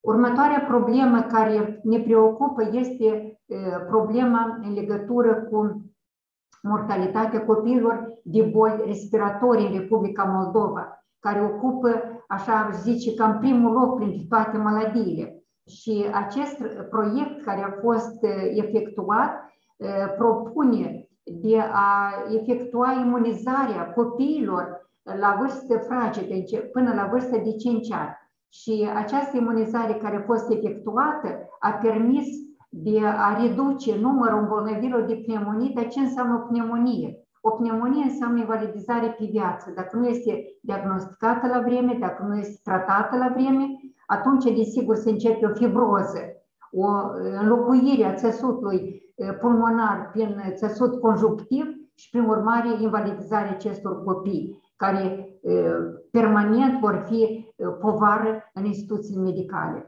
Aceasta este o lucrare, un proiect binevenit, un proiect care trebuie să fie continuat și nu numai prin imunizarea copiilor până la vârstă de 5 ani, dar și prin evaluarea copiilor până la vârstă de 18 ani. De atâta, proiectul dat este binevenit, este un proiect foarte bun, un proiect care pentru prima dată și parcursul a 2 ani se efectuează în Republica Moldova și ar zice că acum de ce acest proiect are o importanță mare? Deoarece avem copii începând de perioada neonatală, de 3 zile, de 4 zile, care suferă de COVID, care duce la modificări destul de serioase din partea plămânilor, din partea tuturor organelor și sistemelor și prin urmare acum aceste obiective care trebuie să fie adăugate la obiectivele de bază este să vedem ce facem cu imunizarea copiilor cei care de acum au suportat această infecție ca COVID-19. Acest proiect, sigur, este un proiect binevenit. Aici este un proiect tot foarte bun din, din partea chirurgilor care evaluează gravidele cu modificări severe, cu diabet zaharat, cu litează biliară, cu multiple patologii. Câteodată patologiile sunt câte 4-5 patologii la una și aceeași gravidă. Și aceste paciente necesită intervenții chirurgicale care, într-o măsură care nu sunt așa de simple, adică în situația dată sunt elaborate noi scheme de diagnostic care sunt destul de sofisticate și necesită aparatură destul de serioase, ca rezonanță radiomagnetică, ca computer tomografie cu angiografie, scintigrafii, pentru aceea ca să aprecieze și ca să nu sufere acest făt care se află intrauterin sau chiar acest embrion de la bun început. Aici, investigațiile date care au fost efectuate, ele sunt de perspectivă și, prin urmare, iarăși trebuie să ne punem în gardă de ce se întâmplă așa. De ce mamele noastre nu sufereau de aceste patologii, de aceste policistite calculoase, de ce nu era atâta diabet zaharat în țara noastră. Prin urmare, acestea sunt problemele alimentației neadecvate a pacientilor, de atâta studiile în domeniu, dar trebuie să fie continuate și, desigur, se cer noi direcții, mai ales în perioada dată când mamele, o mare parte dintre ele au suferit de COVID și de acum au modificări din partea rinichilor, din partea ficatului și nu în ultimul rând din partea sistemului nervos central, deoarece acele glioze, acele modificări serioase care apar, desigur duc la distrugerea familiilor. De atât această temă trebuie să fie continuată, este o temă foarte grea, o temă foarte grea pentru rezolvare, mai ales atunci când sunt necesar de a elabora noi tehnici de anestezie la pacientele date ca să nu suferă fătul și într același vreme să rezolvăm problema chirurgicală. Altă problemă destul de importantă este infecțiile nozocomiale. Ce înseamnă infecțiile nozocomiale? În mare majoritate a cazurilor, acum în condițiile pandemiei, desigur că pacienți, oamenii primesc antibiotice la domiciliu. Ca atare, fără ca să le facem careva investigații de apreciat care sunt bune, antibiotici care sunt, nu le folosim de spectrul larg. Și dacă pacienții dați dau careva infecții, dau careva patologii, atunci aceste infecții sunt foarte greu de corectat. Și anume, acest proiect care este, are ca scop de apreciere infecțiilor nozocomiale, atâta care sunt gram pozitive, cât și gram negative, care foarte greu se apreciază, sunt foarte importante, deoarece la un pacient se apreciază 3-4 microbi și plus în convirus și o candidă. Adică avem micozele acestea care se asociază. Și prin urmare, acestea duc la niște modificări destul de serioase din partea tuturor organelor și sistemelor, la pierderea funcției organelor, mai ales a rinichelor și a ficatului, a cordului. De atâta această direcționare, acest proiect s-a făcut la pacienții care suferă de patologia cordului, aceia care suportă intervenții chirurgicale pe cord. Dar noi dacă am luat acei pacienți care, care urmează cu tratamente de transplantare hepatică, transplant renal, aici sunt probleme și mai serioase. De atât acesta este un proiect foarte bun, un proiect care trebuie să fie continuat și un proiect care, da, a ieșit o monografie, sunt foarte multe lucrări date în domeniul dat, se lucrează foarte mult în domeniul dat, dar totodată, odată cu pandemia, flora bacteriană se schimbă și de, desigur că obiectivele care vor apărea pe parcursul anului 2022 și 2023 vor fi cu mult mai complicate decât acele obiective din trecut. Mai departe, acesta este un, un proiect destul de bun care apreciază imunodeficiențele primare. Noi, ca atare, acum ne îndeprins ca să vorbim de imunodeficiențe secundare. Și atunci când facem imunizare, noi vorbim în privința dată că avem anticorpi, nu avem anticorpi, la unele persoane suferă de COVID și nu se formează anticorpi, la unii merg la imunizare, nu formează aceste anticorpi, deoarece acest proiect ne arată foarte bine de cele imunodeficiențe primare care sunt de acum caracteristice pentru o parte din populație și care duc la modificări destul de majore, la niște maladii imunodeficitare. Acum, în proiectul dat, sunt, este, sunt elaborate metode clinico-imunologice și molecular-genetice la pacienții care au suspecție la imunodeficiență primară și care permite de a aprecia gradul de afectare și totodată profilaxie. Acesta este un, un proiect destul de important și s-ar părea că parcă la prima etapă, deocamdată, el nu dă rezultatele cele scondate care noi le-am dorit, dar eu cred că pe parcurs el ne-a dat rezultate destul de importante. Sunt investigațiile făcute, i-au arătat rezultatele în, la diferite congresuri. A doilea problemă, altă problemă destul de serioasă, precedentă, destul de serioasă, sunt patologiile cordului. Ca atare, noi am avut patru proiecte pe patologiile cordului. Eu nu am să mă refer la fiecare proiect în parte, dar vreau să zic că dă patologie. Nu, nu, patologia cordului mi arată. Pe că mi-a dat ce e patologia cordului. Da. Nu, nu, este, este patologia cordului. Mi-a dat mai departe. Așa, mai departe. Aici, așa, nozocomiale, mai departe patologia aceasta, deci patologia cord. Aici, Aici, patru proiecte sunt cercetări făcute la nivelul marcherilor umorali în patologie dată. În schemele date, în proiectele date, este un proiect pe, trom, pe tromboză pulmonară, anume cele modificări care apar în COVID, acele tromboze pulmonare care apar la pacienții dați. Și toate acele investigații care sunt făcute în domeniul dat, aici sunt date fără ca să arătăm careva modificările biomorale care apar la pacienții dați, ele sunt la nivel de celulă, destul de serioase, care necesită tratamente destul de serioase în domeniul dat. Prin urmare, și cred că acele elaborări a câtorva proiecte care recomandă medicamente pentru, pentru sporirea imunității, pentru ameliorarea funcției organelor și sistemelor. Sunt patru proiecte propuse, desigur, poate într-o măsură de care vor permite de a crește imunitatea la pacienții dați și va fi o profilaxie a, a anomaliilor și a îmbolnăvirilor care apar din partea sistemului cardiovascular. Dar acele proiecte care noi le-am ascultat arată încă o dată că în Republica Moldova avem o creștere a malformațiilor congenitale a cordului la copii de vârstă mică, care necesită o corecție imediat de la naștere, la copiii dat.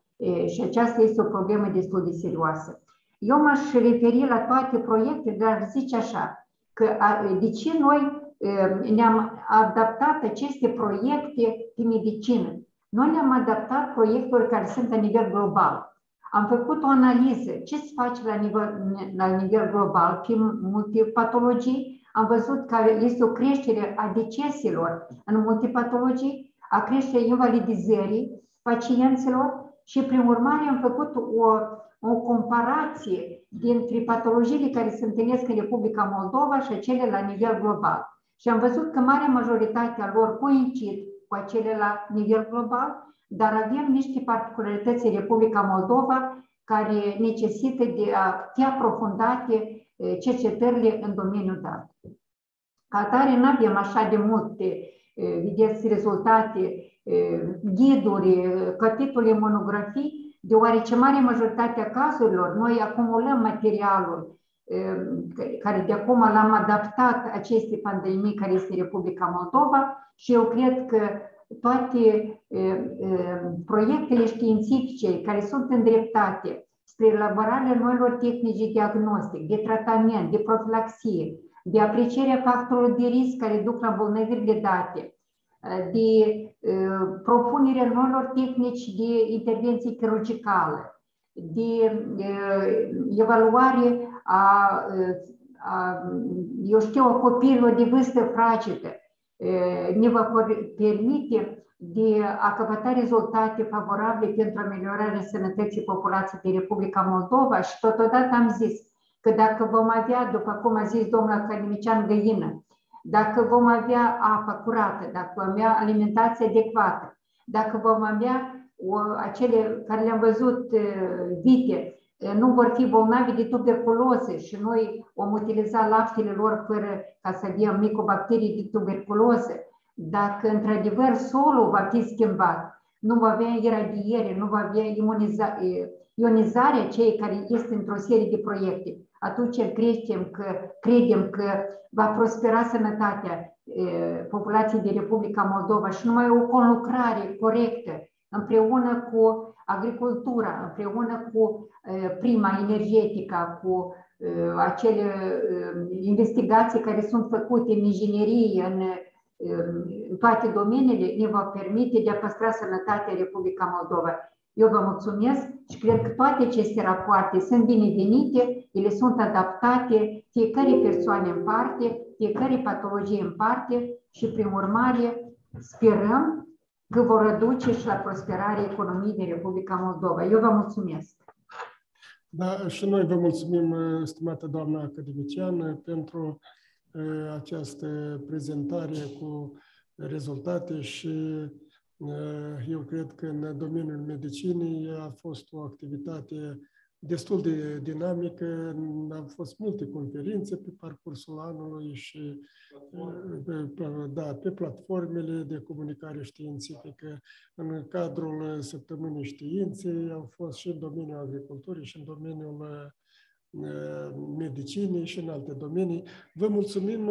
Nu văd întrebări în sala azurie și nu sunt în spațiu virtual de asemenea. Trecem la următoarea prezentare de secția științe sociale, economice, umanist și arte. Domnul academician Mihai Cimpoi deschide prezentările secției și probabil va urma și domnul membru corespondent Victor Mararu. Domnul Cămcean, vă rugăm. Da, mulțumesc, domnul președinte stimați uh, academicieni, membri corespondenți și onorat asistență, reprezentanți ai mass media, dacă ne aude, ne aud. Uh, țin să vă spun că rezultatele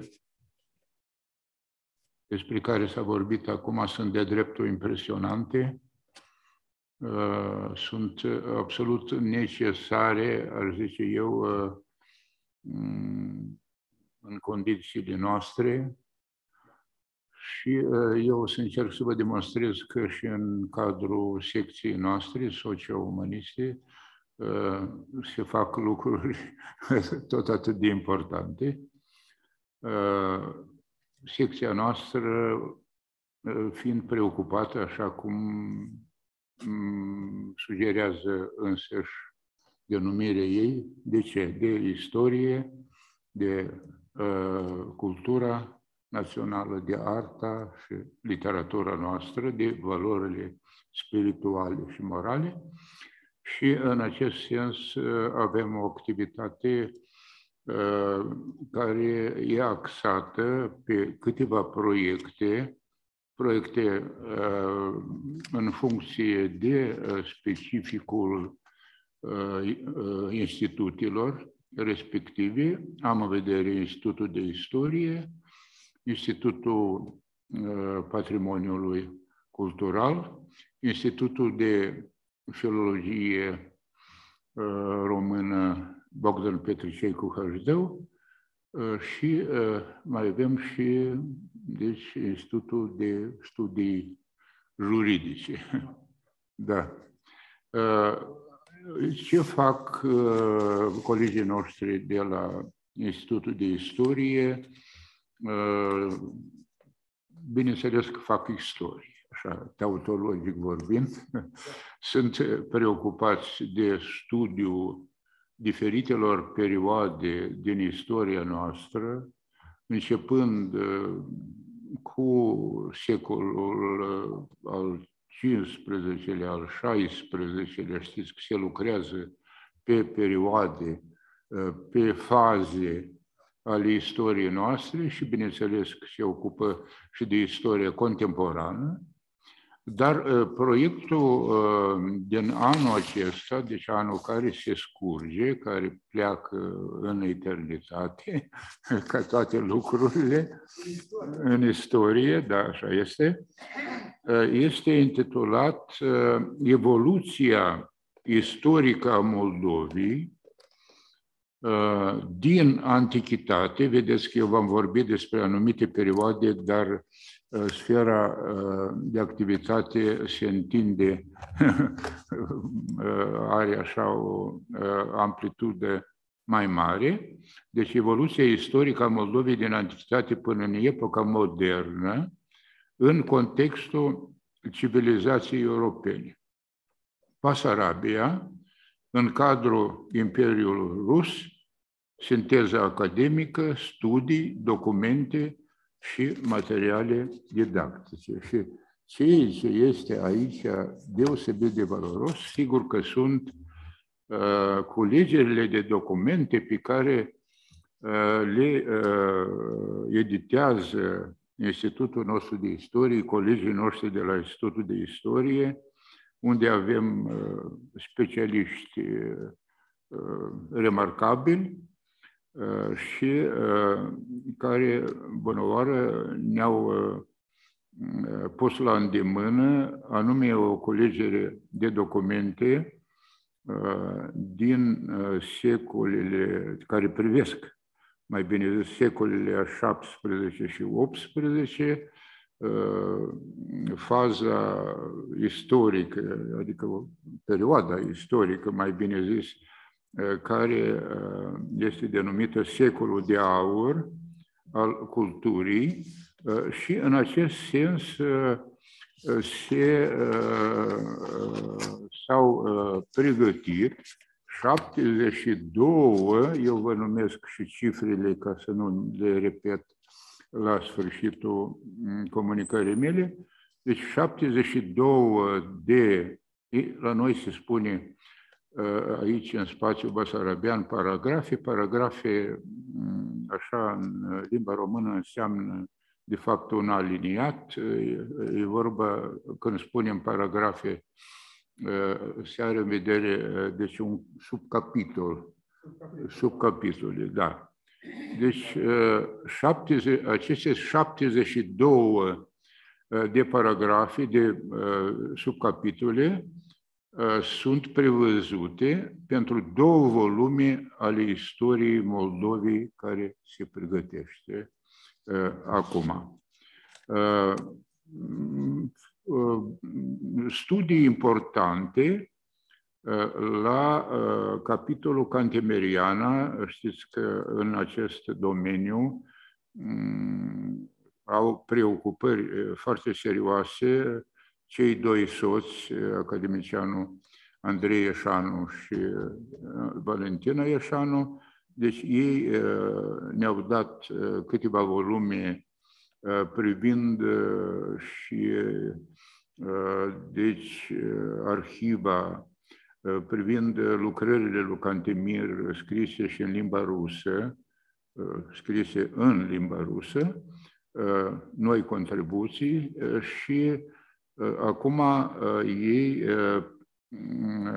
sunt, așa studiază istoria Chișinăului și au și lansat un volum care se cheamă Chișinăul de altă dată.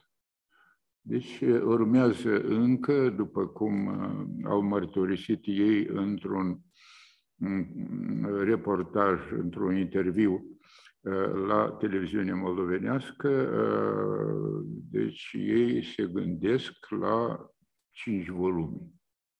Deci urmează încă patru volume. Deci alte uh, direcții tematice sunt Basarabia în procesul de integrare Imperiului Rus în sistemul comerțului european.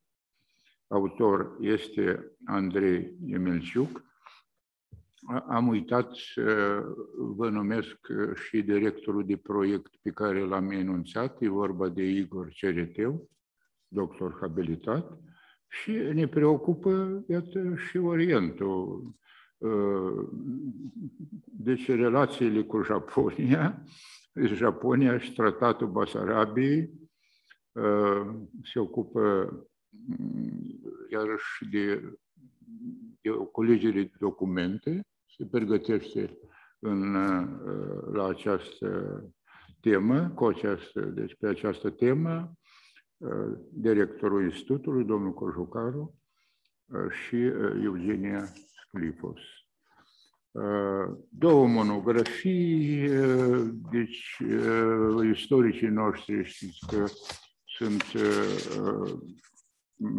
angajați și în analiza evenimentelor care se întâmplă acum, îi vedeți la televiziune, îi ascultăm la radio, sunt foarte activi, sunt foarte dinamici și nu uh, fac analiza uh, celor care se întâmplă și de Doamne să fie ascultați.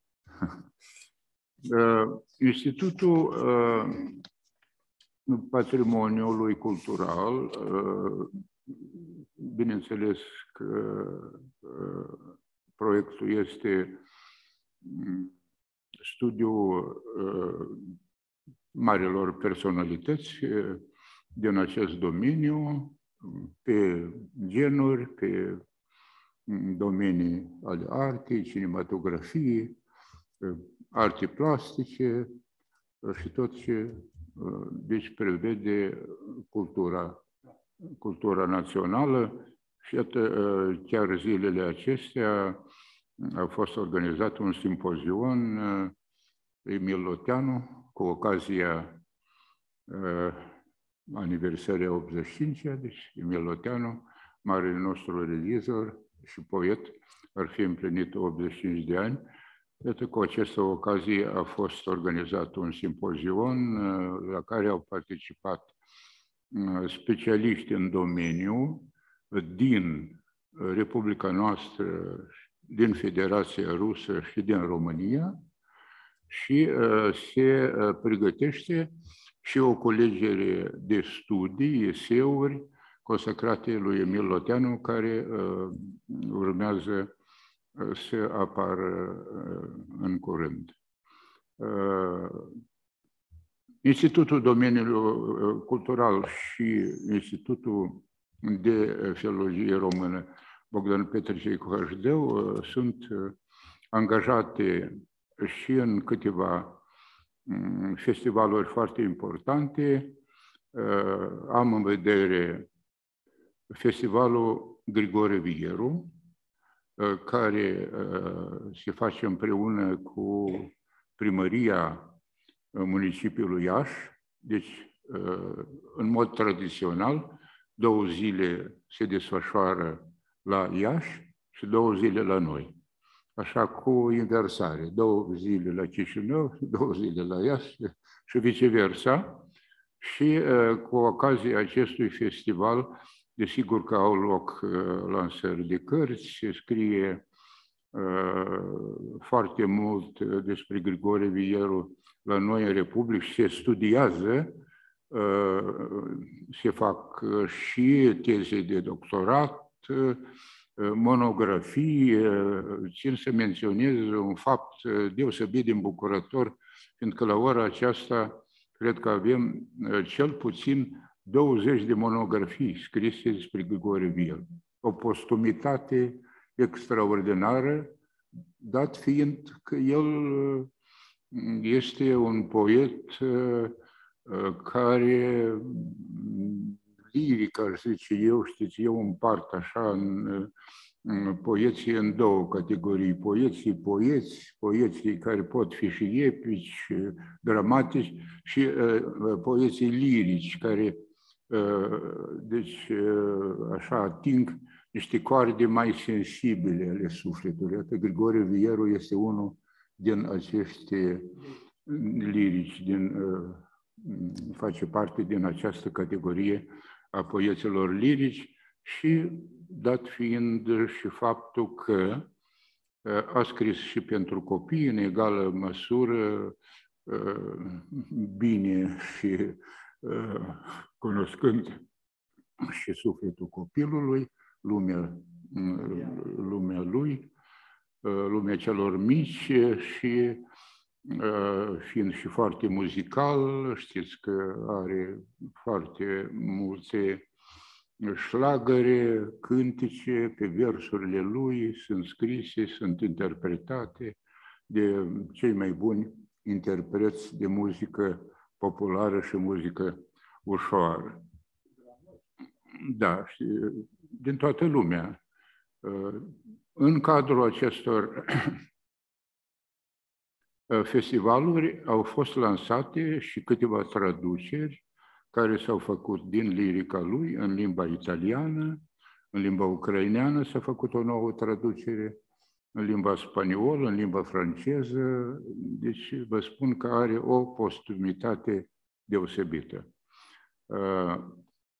Institutul de Filologie Română Bogdan Petricei cu Hăjdău deci uh, mai organizează deci, și uh, Congresul Mondial uh, al Miniscologilor. Anul acesta a avut loc cea de-a 10-a ediție cu participarea, în ciuda condițiilor pandemice, a 20 de miniscologi din țară, din Republică, din țară și de peste votare, online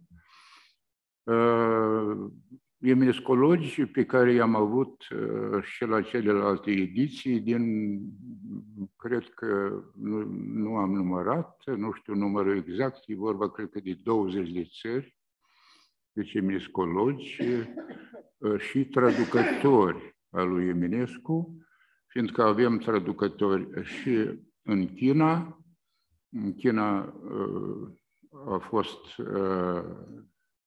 pregătită o nouă ediție din și publicată o ediție din poezia și proza lui Eminescu, a treia ediție uh, pe care au pregătit-o mm, traducătorii de acolo, în special Xiu Vende, cu care noi corespondăm, uh, și uh, care a a avut și foarte inspirată idee să-l include pe Eminescu într-un volum uh, 100 de mari poeți ai lumii.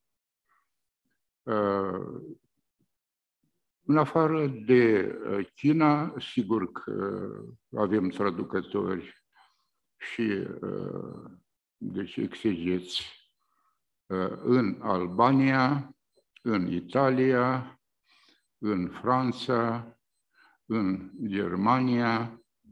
Institutul nostru, Institutul de Filologie, și are și o colaborare cu Universitatea din Bohum, unde se studiază limba și literatura română și am avut anul acesta și o întâlnire cu studenții de acolo care vorbesc și chiar când făceam niște glume în românește, ei deci reacționau. Deci deja dădeau dovadă de o bună cunoaștere a limbii române.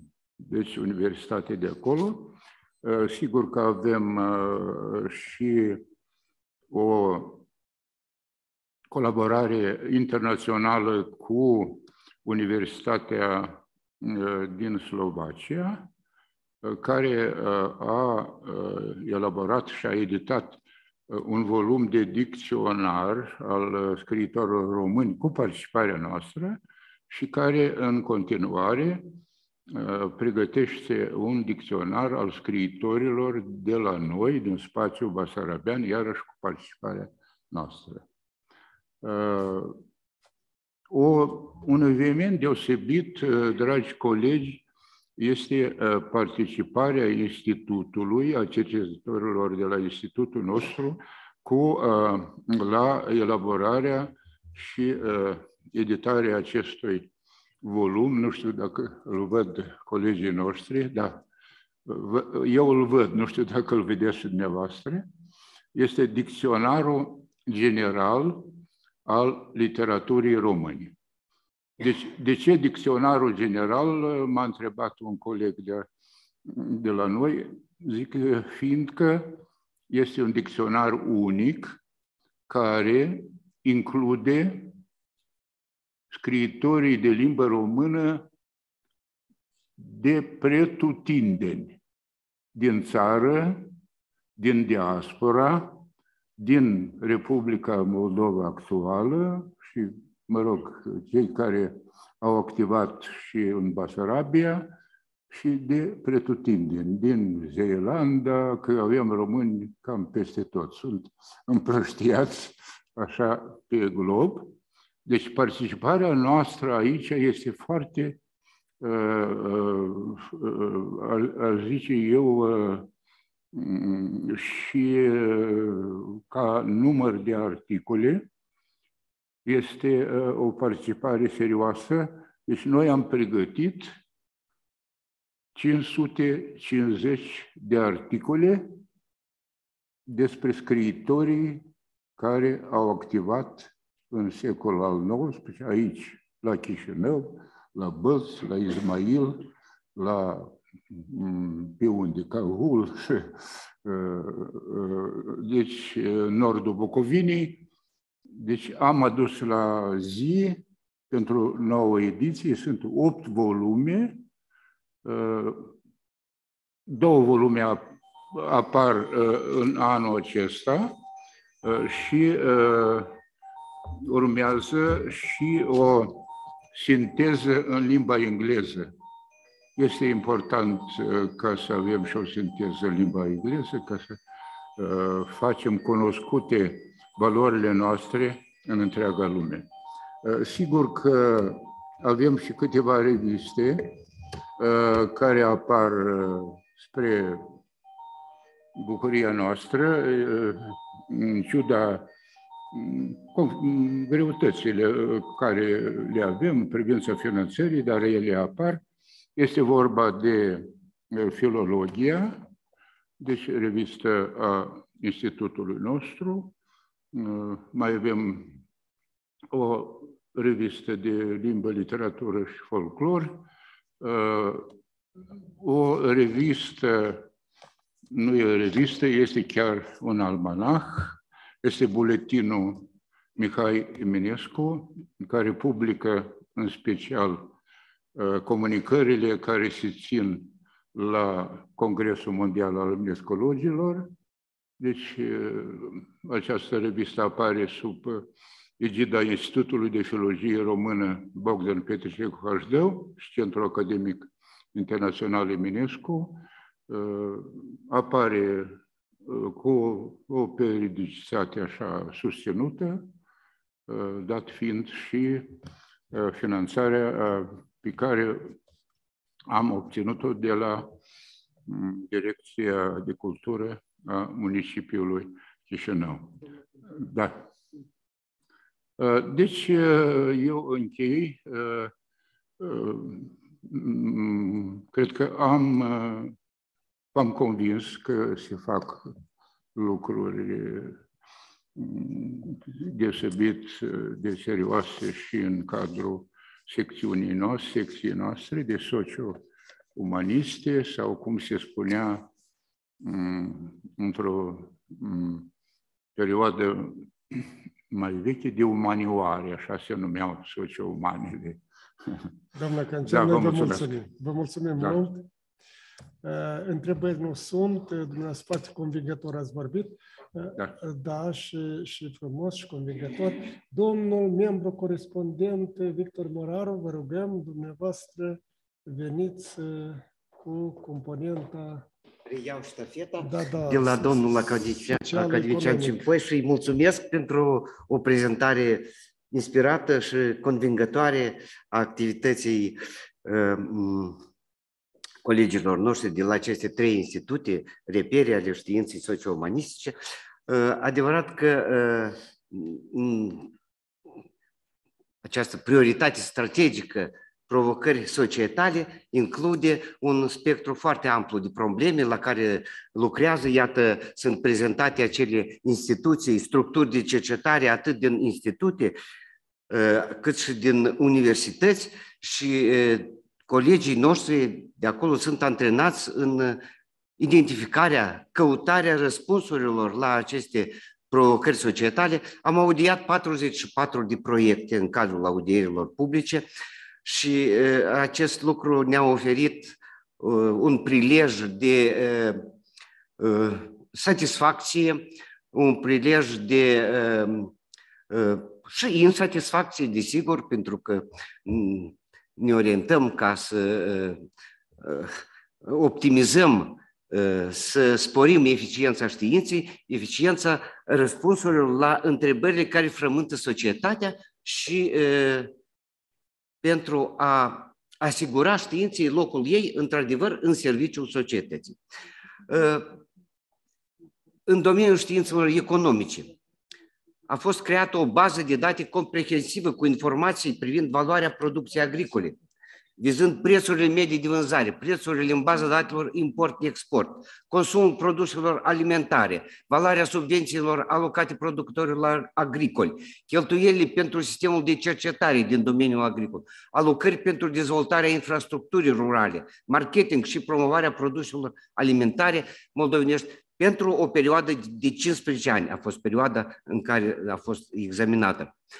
Un alt grup de cercetători a a identificat premizele de trecere în cadrul economiei naționale la economie circulară. Studiul de caz a fost managementul deșeurilor, utilizarea rațională a resurselor și impactul asupra mediului un alt grup de cercetători, nu nominalizez conducătorii, ei sunt prezentați aici pe slide-uri, au fost identificați și evaluați indicatorii ce reflectă piața muncii și ocuparea forței de muncă în baza analizei bazelor de date Eurostat, Biroul Național de Statistică, Agenția Națională de Ocupare a Forței de Muncă și altele, în vederea constatării similitudinilor și deosebirilor, convergențelor și divergențelor, și acest lucru ar permite instituțiilor guvernamentale dezvoltare de politici care să îmbunătățească situația actuală. În domeniul cercetărilor juridice, sociale, demografice, a fost realizată o analiză a dinamicii principalelor procese demografice, migrația, fertilitatea, mortalitatea în perioada anilor 91, 1991-2021, prognozate tendințele posibile pentru următoarele două decenii. Au fost examinate un șir de aspecte ce țin de impactul pandemiei COVID-19 asupra evoluției numerice a populației. A fost creat suportul științific pentru soluționarea problemelor privind calitatea actului de justiție prin fundamentarea științifică a asigurării calității actelor normative și garantarea respectării drepturilor persoanei în procedurile judiciare din Republica Moldova. A fost elaborată metodologia de ajustare a sistemului normativ de protecție a drepturilor pacientului în sistemul asigurărilor obligatorii de asistență medicală în concordanță cu drepturile pacienților în cadrul Uniunii Europene. Rezultatele cercetărilor în domeniul sociologiei au servit la elaborarea politicilor sociale, economice, culturale în domeniul inclusiv consultarea administrației publice locale din localitățile rurale, în elaborarea strategiilor regionale de dezvoltare, au fost elaborate recomandări pentru factorii de decizii din instituțiile puterii de stat din Republica Moldova în ceea ce privește ieșirea din criză cauzată de pandemie. Rezultatele cercetării au fost utilizate la elaborarea raportelor de țară, în special raportul PNADO. În domeniul științelor, educației și psihologiei avem multe proiecte în care sunt antrenați uh, reprezentanții științei pedagogice. Aceste proiecte sunt axate pe reconfigurarea procesului de învățare din învățământul general în contextul provocărilor societale, în fundamentarea paradigmei de profesionalizare a cadrelor didactice, aprofundarea conținuturilor inovaționale în procesul de învățământ, dezvoltarea curriculară, elaborarea manualelor digitale la diferite discipline de studii, resurselor didactice multimedia. Și am în vedere aici astfel de structuri de cercetare, cum este Institutul de Știință Educației, Universitatea de Stat de Moldova, Universitatea de Stat din Tiraspol, Universitatea Pedagogică de Stat în Creangă și altele.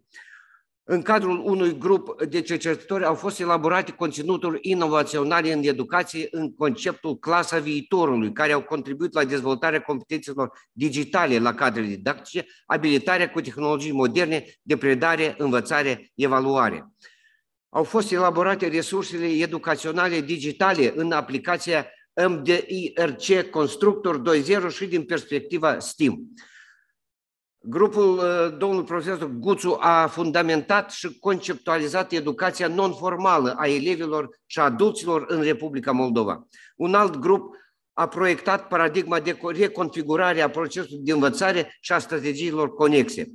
Au fost elaborate dimensiuni conceptuale și modele de asigurare a activității psihologice în sistemul de învățământ general din perspectiva abordărilor contemporane. Aici, pe slide, sunt uh, uh, unele imagini și uh, imagini ale cărților care au fost uh, editate în cadrul acestor proiecte. În domeniul istoriei și arheologiei, Domnul academician a vorbit de acum despre grupul condus de doctor habitat Igor Ceriteu. Iată aici sunt imagini cărților care au apărut în acest an și au fost contabilizate în cadrul acestui proiect. Au fost identificate și argumentate noile viziuni și ipoteze privind pro problematica istoriei Moldovei. A fost cercetată pluridimensional istoria economică, politică, socială și culturală a țării Moldovei. A fost supus examinării fenomenul învățământului superior din perioada sovietică, care, deși puternic ideologizat și îndoctrinat, a produs o anumită perioadă specialiști de înaltă calificare pentru economia națională. Au fost evidențiate cauzele succeselor și insucceselor școlii superioare din Republica Sovietică Socialistă Moldovenească, astfel încât să fie identificate bunele practici, dar și greșelile de evitat. Arheologii eh, noștri, în urma prospecțiunii cu ajutorul dronei, un lucru absolut nou, a malului drept al Nistrului, în perimetrul cuprins dintre localitățile Stohnaia și Țipova, au fost obținute imagini care au permis modelarea unei hărți 2D a reliefului pentru spațiul dat. Prospecțiunea siturilor Saharna, Mare, Saharna Rude, Horodești, Gogălniceni Cetate, Țahnăuț, Solonceni, Hlinaia, Horodca Mic, Horodca Mică, Ecaterinivca, Ialpujeni, Valea Jeparului și Lipoveni s-au soldat cu realizarea de imagini oblice asupra așezărilor din epoca fierului, în baza cărora a fost cercetat relieful amplasării acestora. A fost reconstituită viața cotidiană a comunităților medievale timpurii prin valorificarea vestigiilor arheologice descoperite în așezările Hanska și Păhărniceni Petruca. A fost fundamentată dimensiunea identitară a artelor din Republica Moldova ca factor activ al dezvoltării durabile a societății. Au fost determinate noi date privind ansamblul componentelor culturale ale orașelor din Republica Moldova prin cartografierea spațiului urbanistic al Chișinăului din perspectiva artei și mitopoeticii. Aici sunt ilustrațiile care mm, vorbesc despre activitatea intensă în cadrul proiectelor respective au fost identificate, cercetate și introduse în circuitul științific descoperirile monetare din situl arheologic de la Costești, raionul Ialoveni și cetatea Soroca. A fost sistematizat și elaborat catalogul a circa 3500 de monede de la Costești, aflate în colecția muzeului și în colecții private. În contextul finalizării dosarului Artă Cămășii cu Altiță, eveniment de identitate culturală în România și Republica Moldova, au fost analizate și sistematizate informațiile privind meșterii și comunitățile contemporane din Republică. A fost actualizat Registrul General de Termeni pentru Enciclopedia Moldovei și Registrul de Termeni pentru Dicționarul Biografic Național.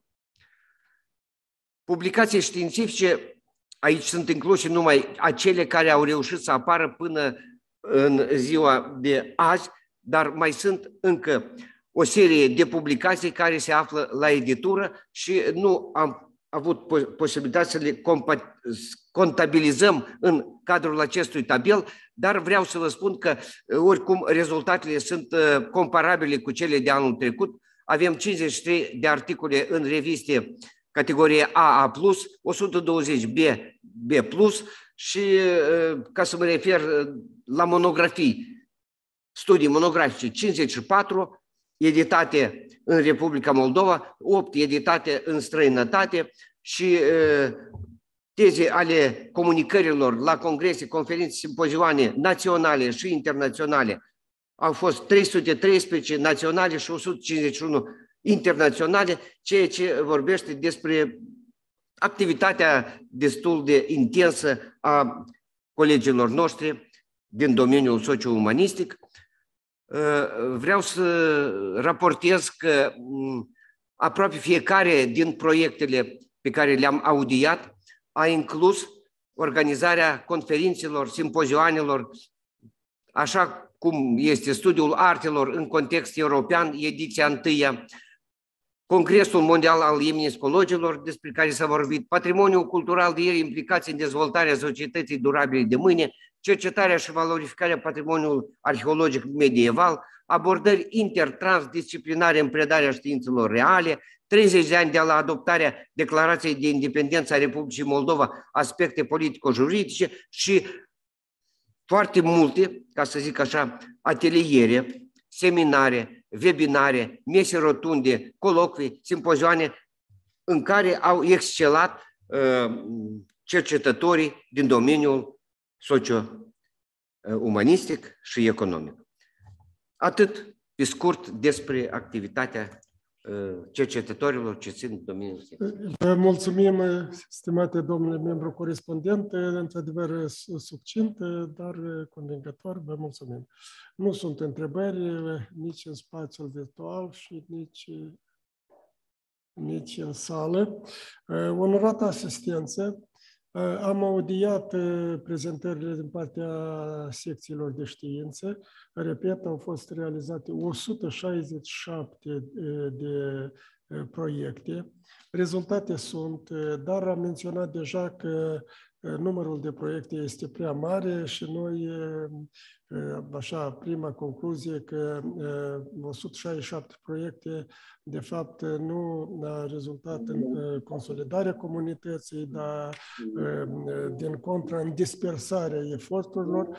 Și considerăm că trebuie să revenim și să promovăm programe de stat multidisciplinare care, într-adevăr, ar duce la o consolidare, ar crea condiții pentru crearea unei infrastructuri comune, de utilizare comună în cadrul acelor programe de stat pe probleme stringente uh, ale societății noastre. Am creat platforme pentru tineri și astăzi am vorbit deja despre o inițiativă cu referire la crearea Academiei Tinerilor. Desigur, finanțarea este modestă, 0,22% din PIB este, este foarte modestă. Și aici trebuie să solicităm ca ea să fie majorată, dar ne trebuie în general de revizuit paradigma finanțării, fiindcă în opinia noastră trebuie să fie o finanțare instituțională adecvată și, desigur, finanțarea unor programe de stat foarte importante pentru țara noastră, Republica Moldova. O să revenim la aceste probleme în cadrul dărilor de seamă care vor urma și utilizez această ocazie să doresc comunității științifice în primul rând, multă, multă sănătate, prosperitate, bucurii de la cei dragi și să păstrăm optimismul în sufletele noastre. Împreună vom reuși. Împreună numai decât vom reuși. La mulți ani! Sărbători fericite la toată lumea! Seară bună, la revedere! Mulțumim de asemenea.